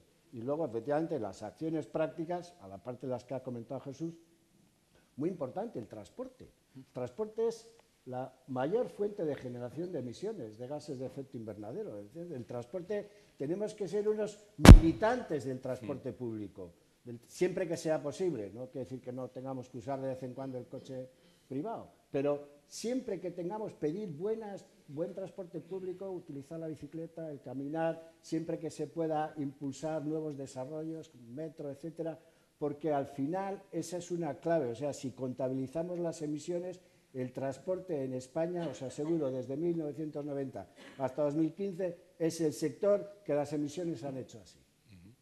la industria está más contenida, en otros sectores también el transporte. Entonces, bueno, al final somos usuarios, podemos tomar la decisión, voy a Bilbao, en vez de coger el coche, pues voy en autobús. En vez de ir a Madrid en avión, pues me voy en el tren. Cuando esas decisiones las hacemos millones de personas, pues también significa una contención de... y un tema que se olvida a veces, ¿no? Y, que yo pienso que es interesante, de hecho, bueno, pues eh, recientemente en esta historia de la ley de cambio climático que hubo comisiones eh, en el Parlamento español y tal, y, nosotros fuimos los únicos que comentamos que la educación es un factor muy importante, porque los que realmente van a cambiar o sea, a nosotros nos puede costar un poco más cambiar nuestros hábitos, ¿no? Puede que haya más inercia. Pero los que no pueden permitirse el lujo de tener los mismos hábitos que tenemos hoy en día es la generación que viene ahora, ¿no? Y hay unas edades críticas, por ejemplo, en la enseñanza secundaria, en donde se forman los hábitos de, la persona. Y ahí es donde hay que incidir. Y ahí, hay un elemento, un campo de acción muy importante que no requiere grandes esfuerzos, pero que hay que ser persistente, ¿no? Y, por ejemplo, de hecho, nosotros en el, en el BC3 hacemos el esfuerzo de dar charlas sobre estos temas eh, de forma regular en los institutos de secundaria, ¿no? porque creemos que ahí hay, un, ahí hay un, mucho, mucho que hacer. ¿no? Y, y, especialmente aquí en el País Vasco, el profesorado está muy concienciado y realmente yo he sido uno de los sitios donde más conciencia he visto del propio profesorado de, de introducir este tipo de, de, acciones. Y en el contexto de la sostenibilidad, o sea, que nuestra sociedad sea más sostenible. ¿no? Que no acabemos todos enganchados al móvil eh, viviendo en un mundo virtual, ¿no? que es lo que, lo que parece que, nos está pasando. ¿no? Sí, yo sobre la educación quizás tengo una visión sesgada porque tengo hijos en secundaria, ¿no? Entonces, igual lo que vivo en su escuela no se puede generalizar, pero yo sí que tengo la impresión de que las nuevas generaciones están mucho más concienciadas que lo que estábamos nosotros en esta época. Yo, eh, bueno, estudié aquí en el colegio francés, de hecho una de mis maestras está en la sala, lo cual es un gran honor haber cambiado de, posición. Ya se nos eh, inculcaba, pero yo creo que éramos, eran pioneros, ¿no? Y yo esta mañana también contaba, eh, yo recuerdo de cuando yo era muy pequeño, igual lo he visto que era anterior, hubo un candidato a la presidencia francesa ya por los años 70, que era ecologista, uno de los pioneros de la ecología. Y apareció, es una escena famosa de la televisión francesa con un vaso de agua. Y dijo, señores, este vaso de agua, dentro de 10, 20 años, va a ser un lujo tener un vaso de agua. Y es un poco a lo que estamos llegando, ¿no? Eh, problemas del agua. has abierto el tema, que yo creo que es muy interesante, de cómo el cambio climático lleva, está llevando ya a emigraciones, pero a conflictos. Un ejemplo paradigmático es eh, el conflicto palestino de Oriente Medio. Eh, ¿Qué ocurre? Que el Jordán, eh, el agua, si, viajáis por, por, esas zonas, por Jordania o por Palestina, o, vais a ver que el agua está copada por Israel. Entonces, si vais a la zona de los altos del Golán, es muy espectacular porque ahí está la, zona, la zona israelí, que es un vergel, y al otro lado del río es un desierto. Y esto, claro, es una fuente de conflictos. Es un... El propio conflicto de Siria ¿no? tiene un origen eh, que bueno, está demostrado que hay un origen, eh, uno, de los elementos que ha llevado al conflicto en Siria ha sido precisamente la migración o la, presión eh, del cambio climático. Sí. Exactamente, por, por ilustrarlo un poco, porque igual os puede sonar un poco eh, lo que ocurre en Siria, hay, una sequía en el, este del Mediterráneo, esto con científicos de la NASA, que la mayor, eh, duró 12 años, fue la mayor en 900 años. En ese contexto, Siria atravesó una, una crisis de sequía gravísima y un millón y medio de campesinos y gente del mundo rural que normalmente vivían en condiciones bastante cercanas a la supervivencia, ante una sequía tan brutal, tuvieron que abandonar las tierras y marcharse a las ciudades. En las ciudades ya había un millón de refugiados de las guerras de Irak que habían venido en años recientes, escapados de los numerosos conflictos que asolan la zona. Entonces, ese millón y medio que llegan a las ciudades con todas las demandas, las necesidades, en un sistema dictatorial, encima sin capacidad institucional para gestionar situaciones complejas, fue uno de los elementos, y esto hay un montón de literatura científica, van a estudiar, uno de los elementos que contribuyeron al a la desencadenar el conflicto. Entonces esto es muy importante porque cuando se habla que el cambio climático puede ser una fuerza motriz, un acelerador de problemas de, de seguridad, es porque no directamente por el incremento de la temperatura, sino por la desestabilización que produce en la base de los fundamentos de la vida. Si una sociedad pierde su agricultura, pierde el acceso al agua, se convierten en emigrantes forzosos, van a las ciudades. Normalmente son países que ya tienen grandes problemas de pobreza, tienen instituciones frágiles.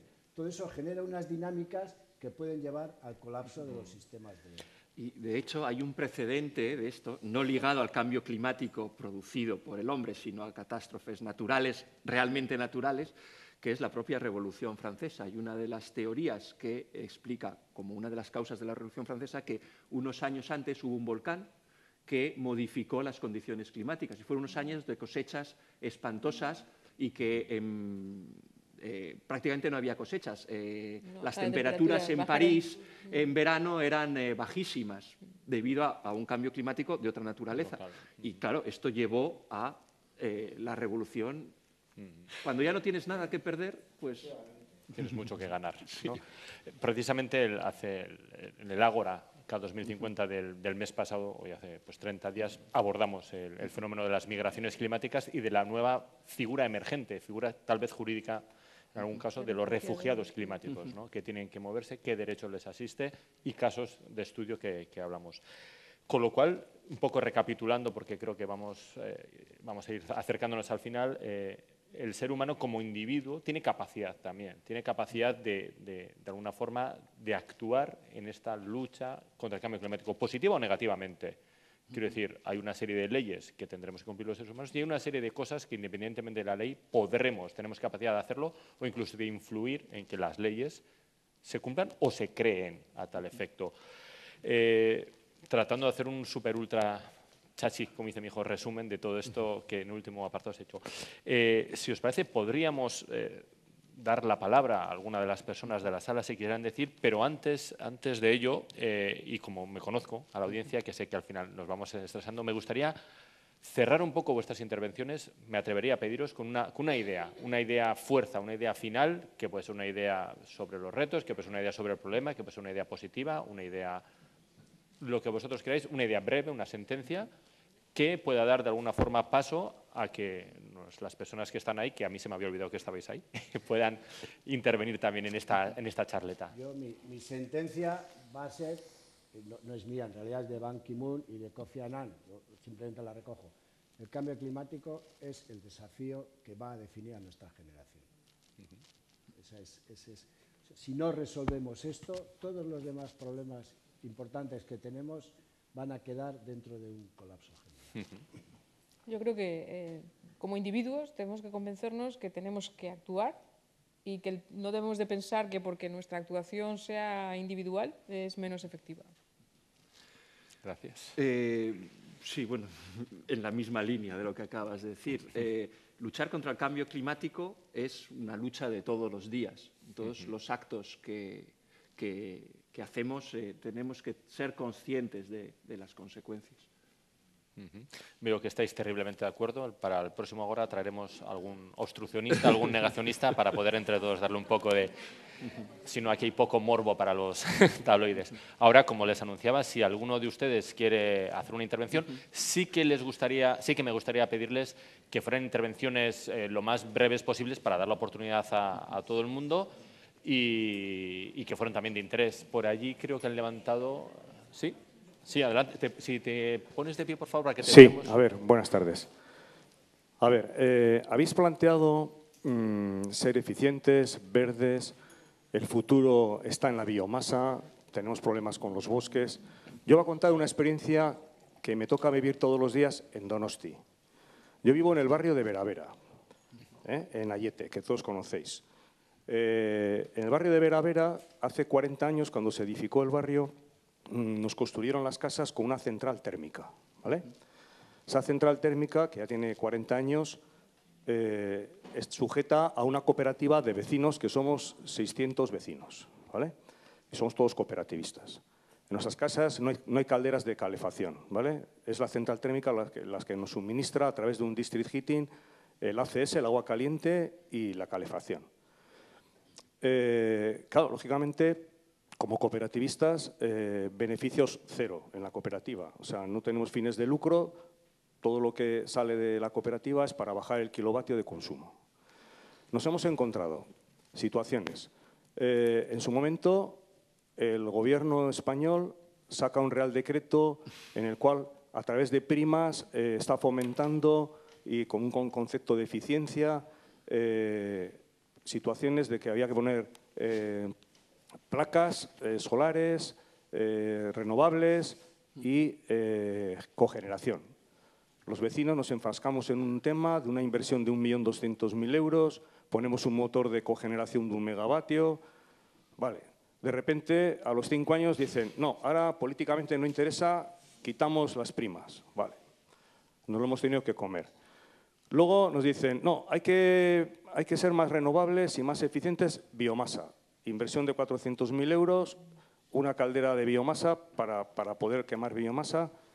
Y en este momento estamos en una situación en que es más barato quemar gas que la biomasa. Y tenemos la, biomasa parada.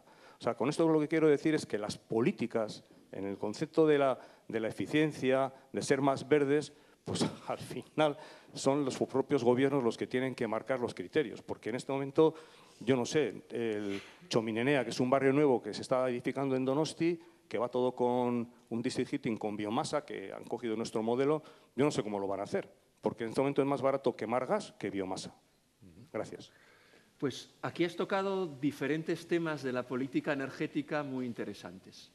Eh, el primero es la propia caldera de quemar los, los residuos, eh, bueno, para esto hay una directiva marco de residuos que establece un principio que eh, se llama de la jerarquía de los residuos y los usos que se tienen que hacer a los residuos. Uh -huh. Primero es reutilizar, eh, reciclar, etcétera, y ya generar energía es la, no la última solución, pero la penúltima. Claro, vuestra caldera probablemente es anterior a esta, esta directiva, que luego tampoco se cumple al 100%, ¿no?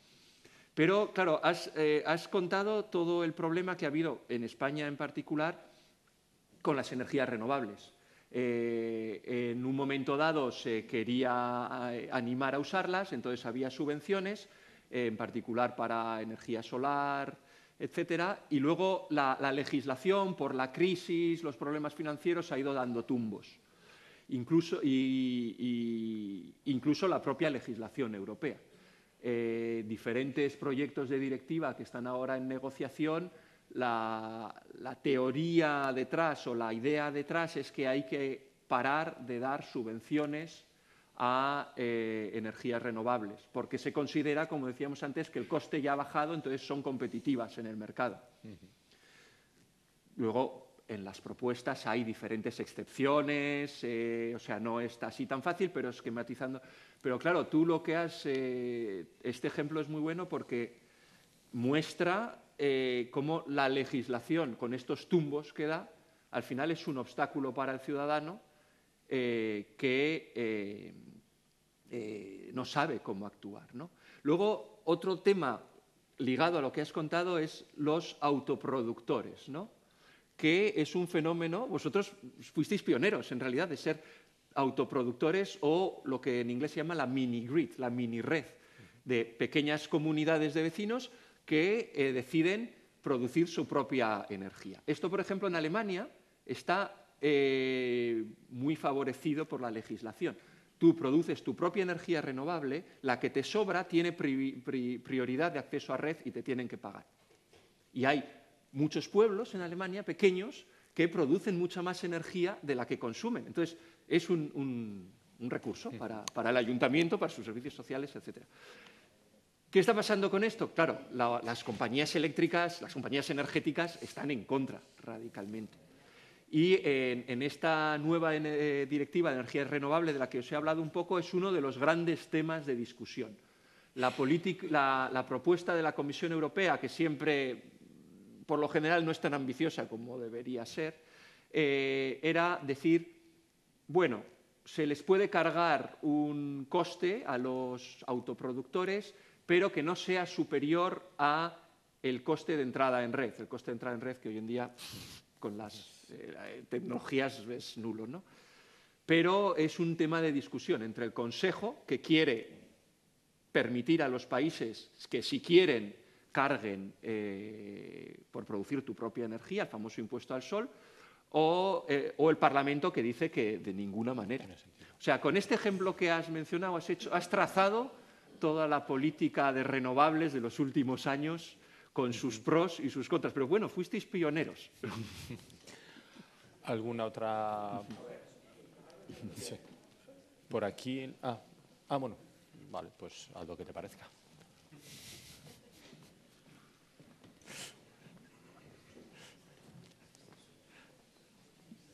Buenas tardes. Creo que las nuevas tecnologías pueden ser una eh, gran no, no, no, se, no, se, no se le escucha. Por ejemplo, creo que todo el sistema de satélites permite hoy tomar conciencia que antes desde, desde suelo no veíamos de muchos cambios de la evolución, así como sirve para la meteorología, también para ver, ver los desielos que puede haber en, el Polo Norte, en fin. Yo creo que los satélites hoy pueden llevar a la concienciación mundial mucho más fácilmente que otra cosa porque dan unas visiones que de, otro modo no se tienen. Y ahora un paréntesis un poquito, ha salido Polonia con el carbón, pero es que Polonia es un desastre, tiene ahí un bosque fabuloso que me parece que, como no se les pae los pies, se lo van a cargar, o por lo menos... Y eso es un desastre, es un tesoro europeo el bosque ese que tienen y creo que están haciendo barbaridades. Bueno. Gracias. Puedo contestar sobre el bosque. Lo de los satélites te lo dejo a ti, que creo que eres experta. Eh, este bosque, que bueno, es una reserva natural eh, protegida por la Red Natura 2000, por la Unión Europea, y es uno de los pocos casos, eh, lo comentaba esta mañana también en, esta, en este taller, en los cuales eh, la Unión Europea realmente ha tomado medidas drásticas y le ha metido a juicio a Polonia y la sentencia del Tribunal Europeo de Justicia salió, no sé si esta semana o la semana pasada, y efectivamente reconoce que está infringiendo todas las normas. Eso sí, el daño está hecho. Casi 50% del bosque ha sido talado ya. Eh, y ahora, claro, lo que no sabemos es qué va a ocurrir. ¿no? La sentencia lo que dice es que esto hay que pararlo, pero se va a repoblar a ver qué ocurre ahí. Bueno, los satélites. Sí, efectivamente, los satélites son los que nos han permitido y los que nos permiten ver los cambios en el Ártico. Hay un satélite específico eh, que permite ver eh, la disminución del hielo ártico y, el grosor también eh, del hielo ártico en tiempo casi real. ¿no? Tenemos datos. Paradójicamente, es la NASA la que proporciona información más detallada sobre todos estos cambios gratuitamente en su página web. Yo les invito a que entren en la página de la NASA y ahí está absolutamente todo. ¿no? Paradójicamente, Trump está pagando que esto se... O sea, que no se lo digamos mucho, no vaya a ser que se arrepienta. ¿no? Eh, Europa ahora mismo puede que tome el relevo, porque saben ustedes que las imágenes de, de Landsat, que es el satélite más de observación de la Tierra más antiguo, que es americano, ¿eh? Eh, son gratuitas. La NASA las puso gratuitas desde el año 90 hasta la actualidad. Y ahora, ayer salió un artículo en Nature que dice que Estados Unidos está considerando cobrar por las imágenes de Landsat. ¿no? Pero afortunadamente Europa va a tomar el relevo porque las imágenes de Sentinel, que son el, satélite europeo, son gratuitas ya. ¿no? O sea que efectivamente los satélites nos permiten detectar todos estos cambios prácticamente en tiempo real y tenemos la tecnología para que un ciudadano normal pueda incluso bajarse estas imágenes pretratadas de satélite y observar por sí mismo cuáles son los cambios. Y va a haber un satélite pronto que va a poder medir directamente la biomasa. ¿eh? En Europa todavía eh, hay algunos problemas. bueno, se ha creado la infraestructura de satélites, pero todavía eh, el servicio, digamos, al usuario todavía es muy, muy técnico. o sea, como ciudadano todavía hay mucho que hacer ahí. Mm. bueno, la Comisión Europea, la DG Investigación es muy consciente de ello, pero bueno, es muy consciente ya desde hace unos cuantos años. Y no sí, pero la Agencia Europea Espacial ha, cambiado mucho de actitud en los últimos Sí, sí, no, ha habido un cambio de actitud radical. Antes esto eran datos para expertos y ahora se quiere incluso desarrollar un servicio que puede ser comercial para tratamientos de aguas, etcétera. Pero bueno, todavía igual toma unos años. A ver, estoy muy de acuerdo, muy de acuerdo en bajar el límite del dióxido de carbono. Primero para la salud, porque tenemos esas boinas que se pueden formar en España, en Madrid, en Barcelona, en Milán, en París. Te coge un anticiclón, te deja cuatro días y los bronquíticos lo van a pasar muy mal. En lo que no estoy de acuerdo con ningún científico, será mi ignorancia, es en el cambio climático que podemos hacer nosotros. Me parece que poco podemos influir el hombre en el cambio climático. Yo no creo que el CO2 intervenga en el cambio climático. Tampoco me creo la cosa política, porque resulta que cuando ocurrió la catástrofe del Prestige, pues iba a venir aquí una, una cosa terrible, eh, Costa da Morte no iba a funcionar por lo menos en 10 o en 100 años, me parece que llegó a oír, y al día siguiente al año siguiente hubo la mejor cosecha de mejillones y de todo lo demás. En fin, está publicado. Luego no me creo lo de los políticos, porque resulta que parece es que viene la izquierda y lo resuelve todo con, porque están con, con eso, con, el, con mejorar las condiciones. Pero resulta que había un plan hidrográfico, hidrológico, mejor dicho, un plan hidrológico, y vino Zapatero y puso a, consumir CO, a producir CO2 con las desaladoras. O sea que y el cambio climático. Y si ahora viene un volcán, un volcán, y entra en erupción, pues ¿qué supone? Pues mucho más que cantidad de centenares o de miles de coches. Y luego también Trump también ha hecho mucho por, el, por eliminar el CO2.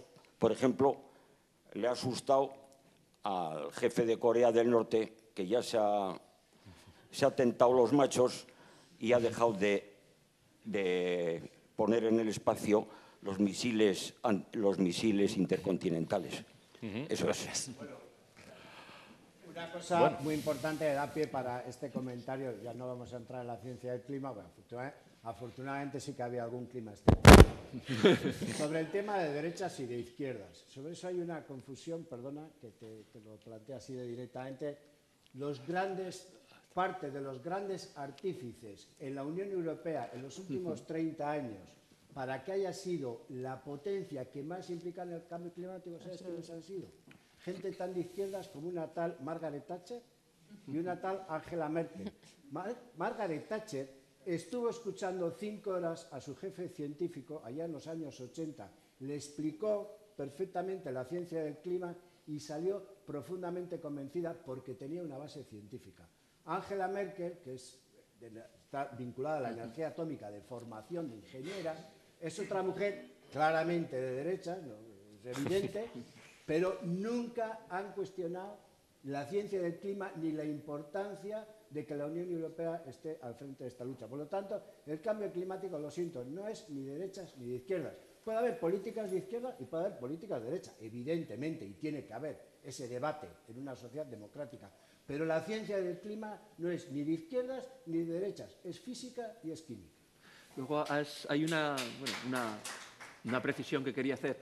Eh, has hablado de la, del CO2 y la salud. En realidad, el CO2 no es tan malo para la salud. O sea, el problema son otras emisiones mucho más nocivas. Eh, eh, por ejemplo, el, el metano, ¿no? que son los no sé cómo se dice en castellano, eh, los de short terms. asociados a los procesos de combustión que producen el CO2, hay una serie de compuestos eh, químicos que, que, sí que son nacidos para la salud, como son los óxidos de nitrógeno, como es el dióxido de azufre, y eso sí que son nocivos para la salud. Se ha demostrado y se han regulado, se intentó regular este tipo de contaminantes, eh, lavando el carbón, por ejemplo, que tenía un componente de azufre importante. Otros componentes eh, atmosféricos que se crean a partir de estos primarios en la propia atmósfera, como el ozono troposférico, no el del agujero, sino el que está por aquí abajo, es particularmente importante para los enfermos que tienen problemas respiratorios, porque provoca crisis eh, en este tipo de enfermos. Eh, y, puede concurrir con otros impactos de cambio climático, como las olas de calor. Y si tienes los dos componentes, puedes tener, nosotros hemos, hemos visto que hay un incremento de ingresos hospitalarios cuando se produce un evento de este estilo, ¿no? Sí, sí, este eh, no lo hemos tratado casi, pero el tema de la calidad del aire ligada a las emisiones es fundamental. Yo he mencionado, se calcula que hay 400.000 muertos en Europa eh, todos los años ligados a problemas respiratorios ligados a las emisiones y, bueno, hay un marco legislativo europeo, pero que, bueno, funciona así, así. Y es un tema que hay gente en esta sala que es muy consciente de ello y que está midiendo todos los días con su aparatito eh, las, emisiones y en lo que se llama la ciencia ciudadana. ¿no? Pero eso, es muy importante acordaros, cuando se habla del CO2, el CO2 para la salud no es malo, o sea, es lo que cuando respiramos es lo que expulsamos por la boca. El problema son todas las otras eh, partículas finas, eh, etcétera, que emiten pues, las industrias, los coches, etcétera y el efecto que el CO2 tiene en el calentamiento y el calentamiento puede tener en el... Eh, quizás una última pregunta antes de ir cerrando el... Eh, sí, yo, quería preguntaros por la desertización. Desertización se dice que es uno de los mayores problemas que va a producir el cambio climático. Pero hay algo que no entiendo. Si hay mayor temperatura en la Tierra, hay mayor evaporación de los océanos, hay mayor nubosidad y por lo tanto hay mayor lluvia. Con lo cual no entiendo, de hecho, la, historia de la Tierra sí que tiene experiencias y ciclos con mayor temperatura que ahora.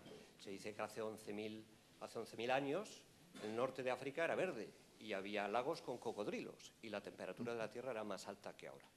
O en los periodos cretácicos, eh, cuando se formó, digamos, todo el petróleo en Arabia, que ahora es un desierto, la temperatura de la Tierra era más alta que ahora y, sin embargo, era un vergel esa zona cómo eh, se compatibiliza el aumento de la temperatura, por lo tanto el aumento de la evaporación, por lo tanto el aumento de la lluvia, con el gran problema que se dice que va a ser el aumento de los desiertos. Sí, eso me gustaría darte algunas indicaciones. A ver, los impactos a nivel planetario van a ser desiguales según las regiones del globo. Es decir, va a haber más incremento posiblemente, todo esto es una estadística, pero muy posiblemente en el norte de Europa, en el norte de Estados Unidos, en Canadá, en el norte de Rusia. ¿Te imaginas? La franja más al norte del globo seguramente va a recibir más lluvias de las que ya recibe ahora. Van a ser países que no van a tener grandes problemas para seguir generando su producción alimentaria. Pero en otras franjas del globo, si tú te acuerdas de cómo es el planeta y tú vas trazando una línea desde el Mediterráneo, hacia eh, Oriente Medio, Asia Central, el, norte del subcontinente indio, en toda esa zona precisamente por la ampliación, técnicamente se llama las células Halley, se van desplazando hacia el norte, por lo tanto el clima se va convirtiendo cada vez más desértico, vamos a tener menos precipitaciones. Entonces, en, en México, en América Central, son zonas de la Tierra y en el Mediterráneo, en la península ibérica, donde en general vamos a tener menos precipitaciones porque hay un desplazamiento hacia el norte de la, temperatura y los gradientes que hay ahora más en torno a, por ejemplo, la zona del Sahara. Entonces, esto nos afecta directamente a la península ibérica. Nosotros tenemos un problema de desertización en la península ibérica, supongo que ya lo conoces, muy importante. Con este desplazamiento, sobre todo en la zona del Mediterráneo, Almería, Murcia, etcétera, la tendencia a la desertización en las próximas décadas en este país va a ser extraordinaria. Yo llevo 25 años sin entender cómo este tema no está más en el debate público, en el debate de los partidos políticos y en el Parlamento. Porque, claro, hace falta claro, que pensar en términos a largo plazo, pero España y la península ibérica y en general el sur de, el sur de Europa tenemos un problema importantísimo con el tema de la desertización, lo que se habla en algunos artículos, la africanización de España. Entonces, hay que pensar, claro, lo de los impactos, por eso es importante recordar que van a ser diferentes. sobre todo en todas estas zonas que viven cientos o miles de millones de personas en la Tierra, vamos a tener un problema muy serio que va a venir mediado por el tema del agua, el acceso al agua, la disminución de las precipitaciones, incrementos en la desertización y, por lo tanto, mayores problemas para seguir generando los recursos alimentarios. Eh, como dice Anchón, eh, efectivamente eh, es un problema regional, o sea, no en todas partes, o sea, va a haber sitios en los que va a haber un incremento de precipitación y sitios en donde va a haber una disminución de precipitación. Un ejemplo que la Unión Europea tiene evidencias desde hace bastantes años es la cuenca mediterránea.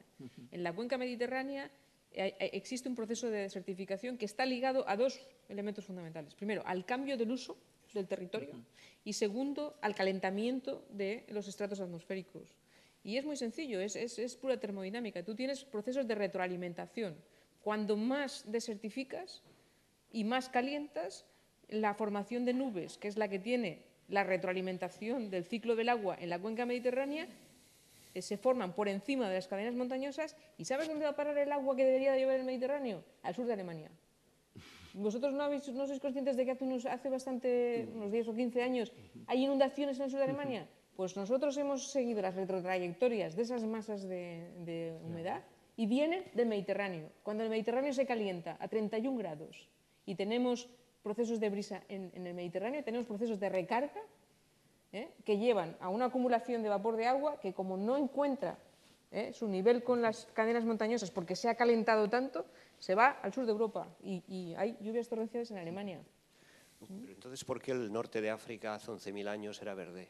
Con pues temperatura más alta. Por la misma razón, porque tenías procesos de retroalimentación. Si tú tienes una cobertura vegetal muy grande, tienes un proceso de retroalimentación, o sea, la vegetación añade vapor de agua y eso hace que retroalimentes la precipitación. ¿Por qué se ha desertificado Madagascar? Madagascar? Las islas son un ejemplo perfecto. Madagascar es una isla que tenía un bosque tropical. Lo destruyeron y ahora mismo no llueve. Es como si tú destruyeras la vegetación que hay en las Islas Canarias. dejarías de tener eh, las lluvias en la, parte, en la parte sur de la isla. Y, en el Mediterráneo está ocurriendo lo mismo. Están ocurriendo en las dos cuencas, más acentuado en la cuenca occidental y menos acentuado porque ya era una zona desértica en la cuenca oriental. Hay, evidencias, por ejemplo, de que eh, parte de esto, porque además mm, la, la, convergencia intertropical, que es donde confluyen las dos masas de aire en el norte de África, oscila en verano y en invierno, va hacia arriba y hacia abajo. Y hay evidencias de inyecciones de, masas de aire del Mediterráneo a 11 kilómetros de altura, con contaminantes. Esas partículas de contaminantes que vienen de nuestra polución en el Mediterráneo están generando lluvias en el desierto del Negev. Porque son partículas. O sea, ahí eh, no es tan sencillo como decir calientas y llueve, no. Tienes que hay un proceso de interacción con la superficie terrestre y con la vegetación. Luego, una cosa que es importante aclarar es que, eh, bueno, Cambios climáticos a lo largo de la historia del planeta ha habido muchísimos. La característica de este es que lo hemos provocado nosotros y en muy poco tiempo. Muy rápido. Eso es, y en muy poco tiempo. O sea, esta es la diferencia con otros cambios climáticos más por fenómenos naturales hace miles de años.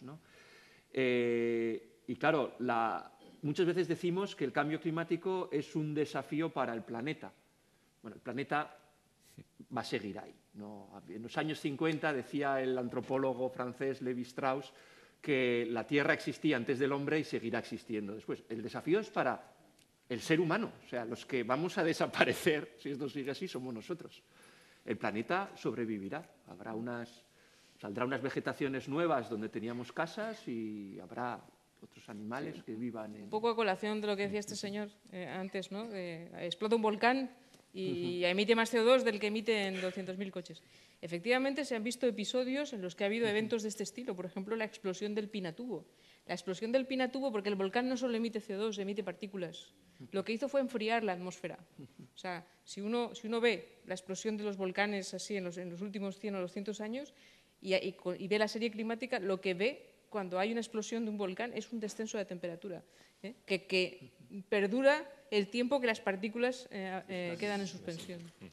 Y para poner en perspectiva las cifras, ya que no se ha dicho el dato, pero bueno, si os lo queréis quedar, 2.500.000 millones de toneladas de CO2 equivalente hemos emitido en los últimos 200 años. 2,500.000 millones de toneladas. Entonces, eso es una cantidad tan importante que cuando antes teníamos 280 partículas de CO2 por millón, ahora tenemos 408. Hemos alterado la química de la atmósfera y por eso se está produciendo todo lo que estamos hablando. Y un último dato sobre el tema de la estabilidad, muy importante, ya que hemos entrado en temas más científicos. En los últimos 11.600 años, el Holoceno, la temperatura media de la atmósfera, lo que más ha caracterizado a la temperatura de la atmósfera ha sido la estabilidad.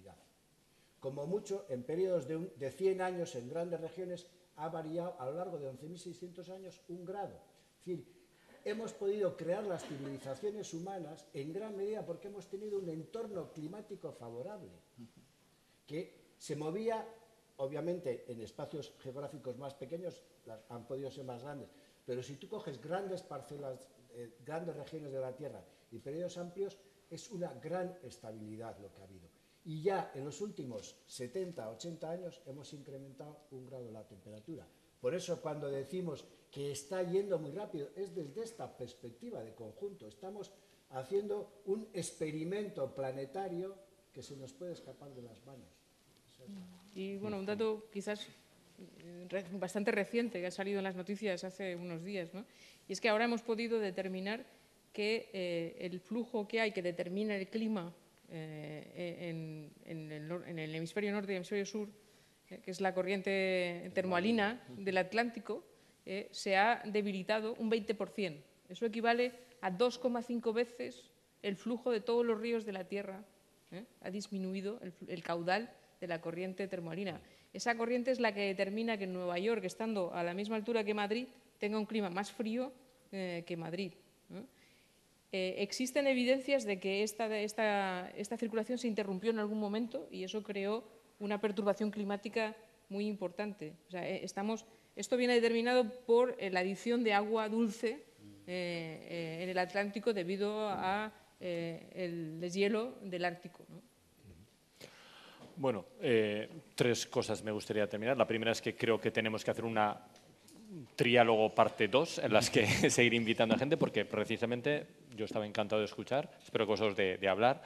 Eh, lo plantearemos. La siguiente cosa es que si se han quedado con ganas de preguntar, de comentar, de hacer más cosas, eh, de intervenir, estamos elaborando un estudio junto con la Cátedra UNESCO de Desarrollo Sostenible y Educación Ambiental precisamente eh, para saber la opinión, los pensamientos, las actitudes, pero también los sentimientos de la población frente o en relación al cambio climático. Por eso, si quieren participar en una reunión que vamos a hacer informal con pastas, café y té, eh, mira, detrás está nuestro compañero César, que es el chico que levanta la mano, pueden dejarle sus datos de contacto para que les invitemos a esta reunión si quieren aportar. ser una cosa informal, pero que nos gustaría contar.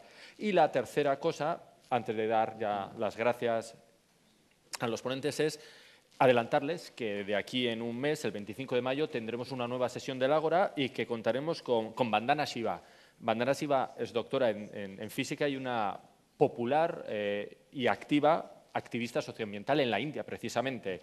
eh, con cambios de modelos, con nuevas estructuras, con proyectos que están aportando unas visiones diferentes, relacionadas también con la mujer, muy relacionadas con la mujer, pero también con la biodiversidad. Se llamará precisamente Mujeres diversas por la biodiversidad, retos ante el cambio climático, el 25 de mayo, aquí mismo a las 7. Y ahora ya sí, muchísimas gracias, Sancho, muchísimas gracias, Manijo, Jesús, un placer.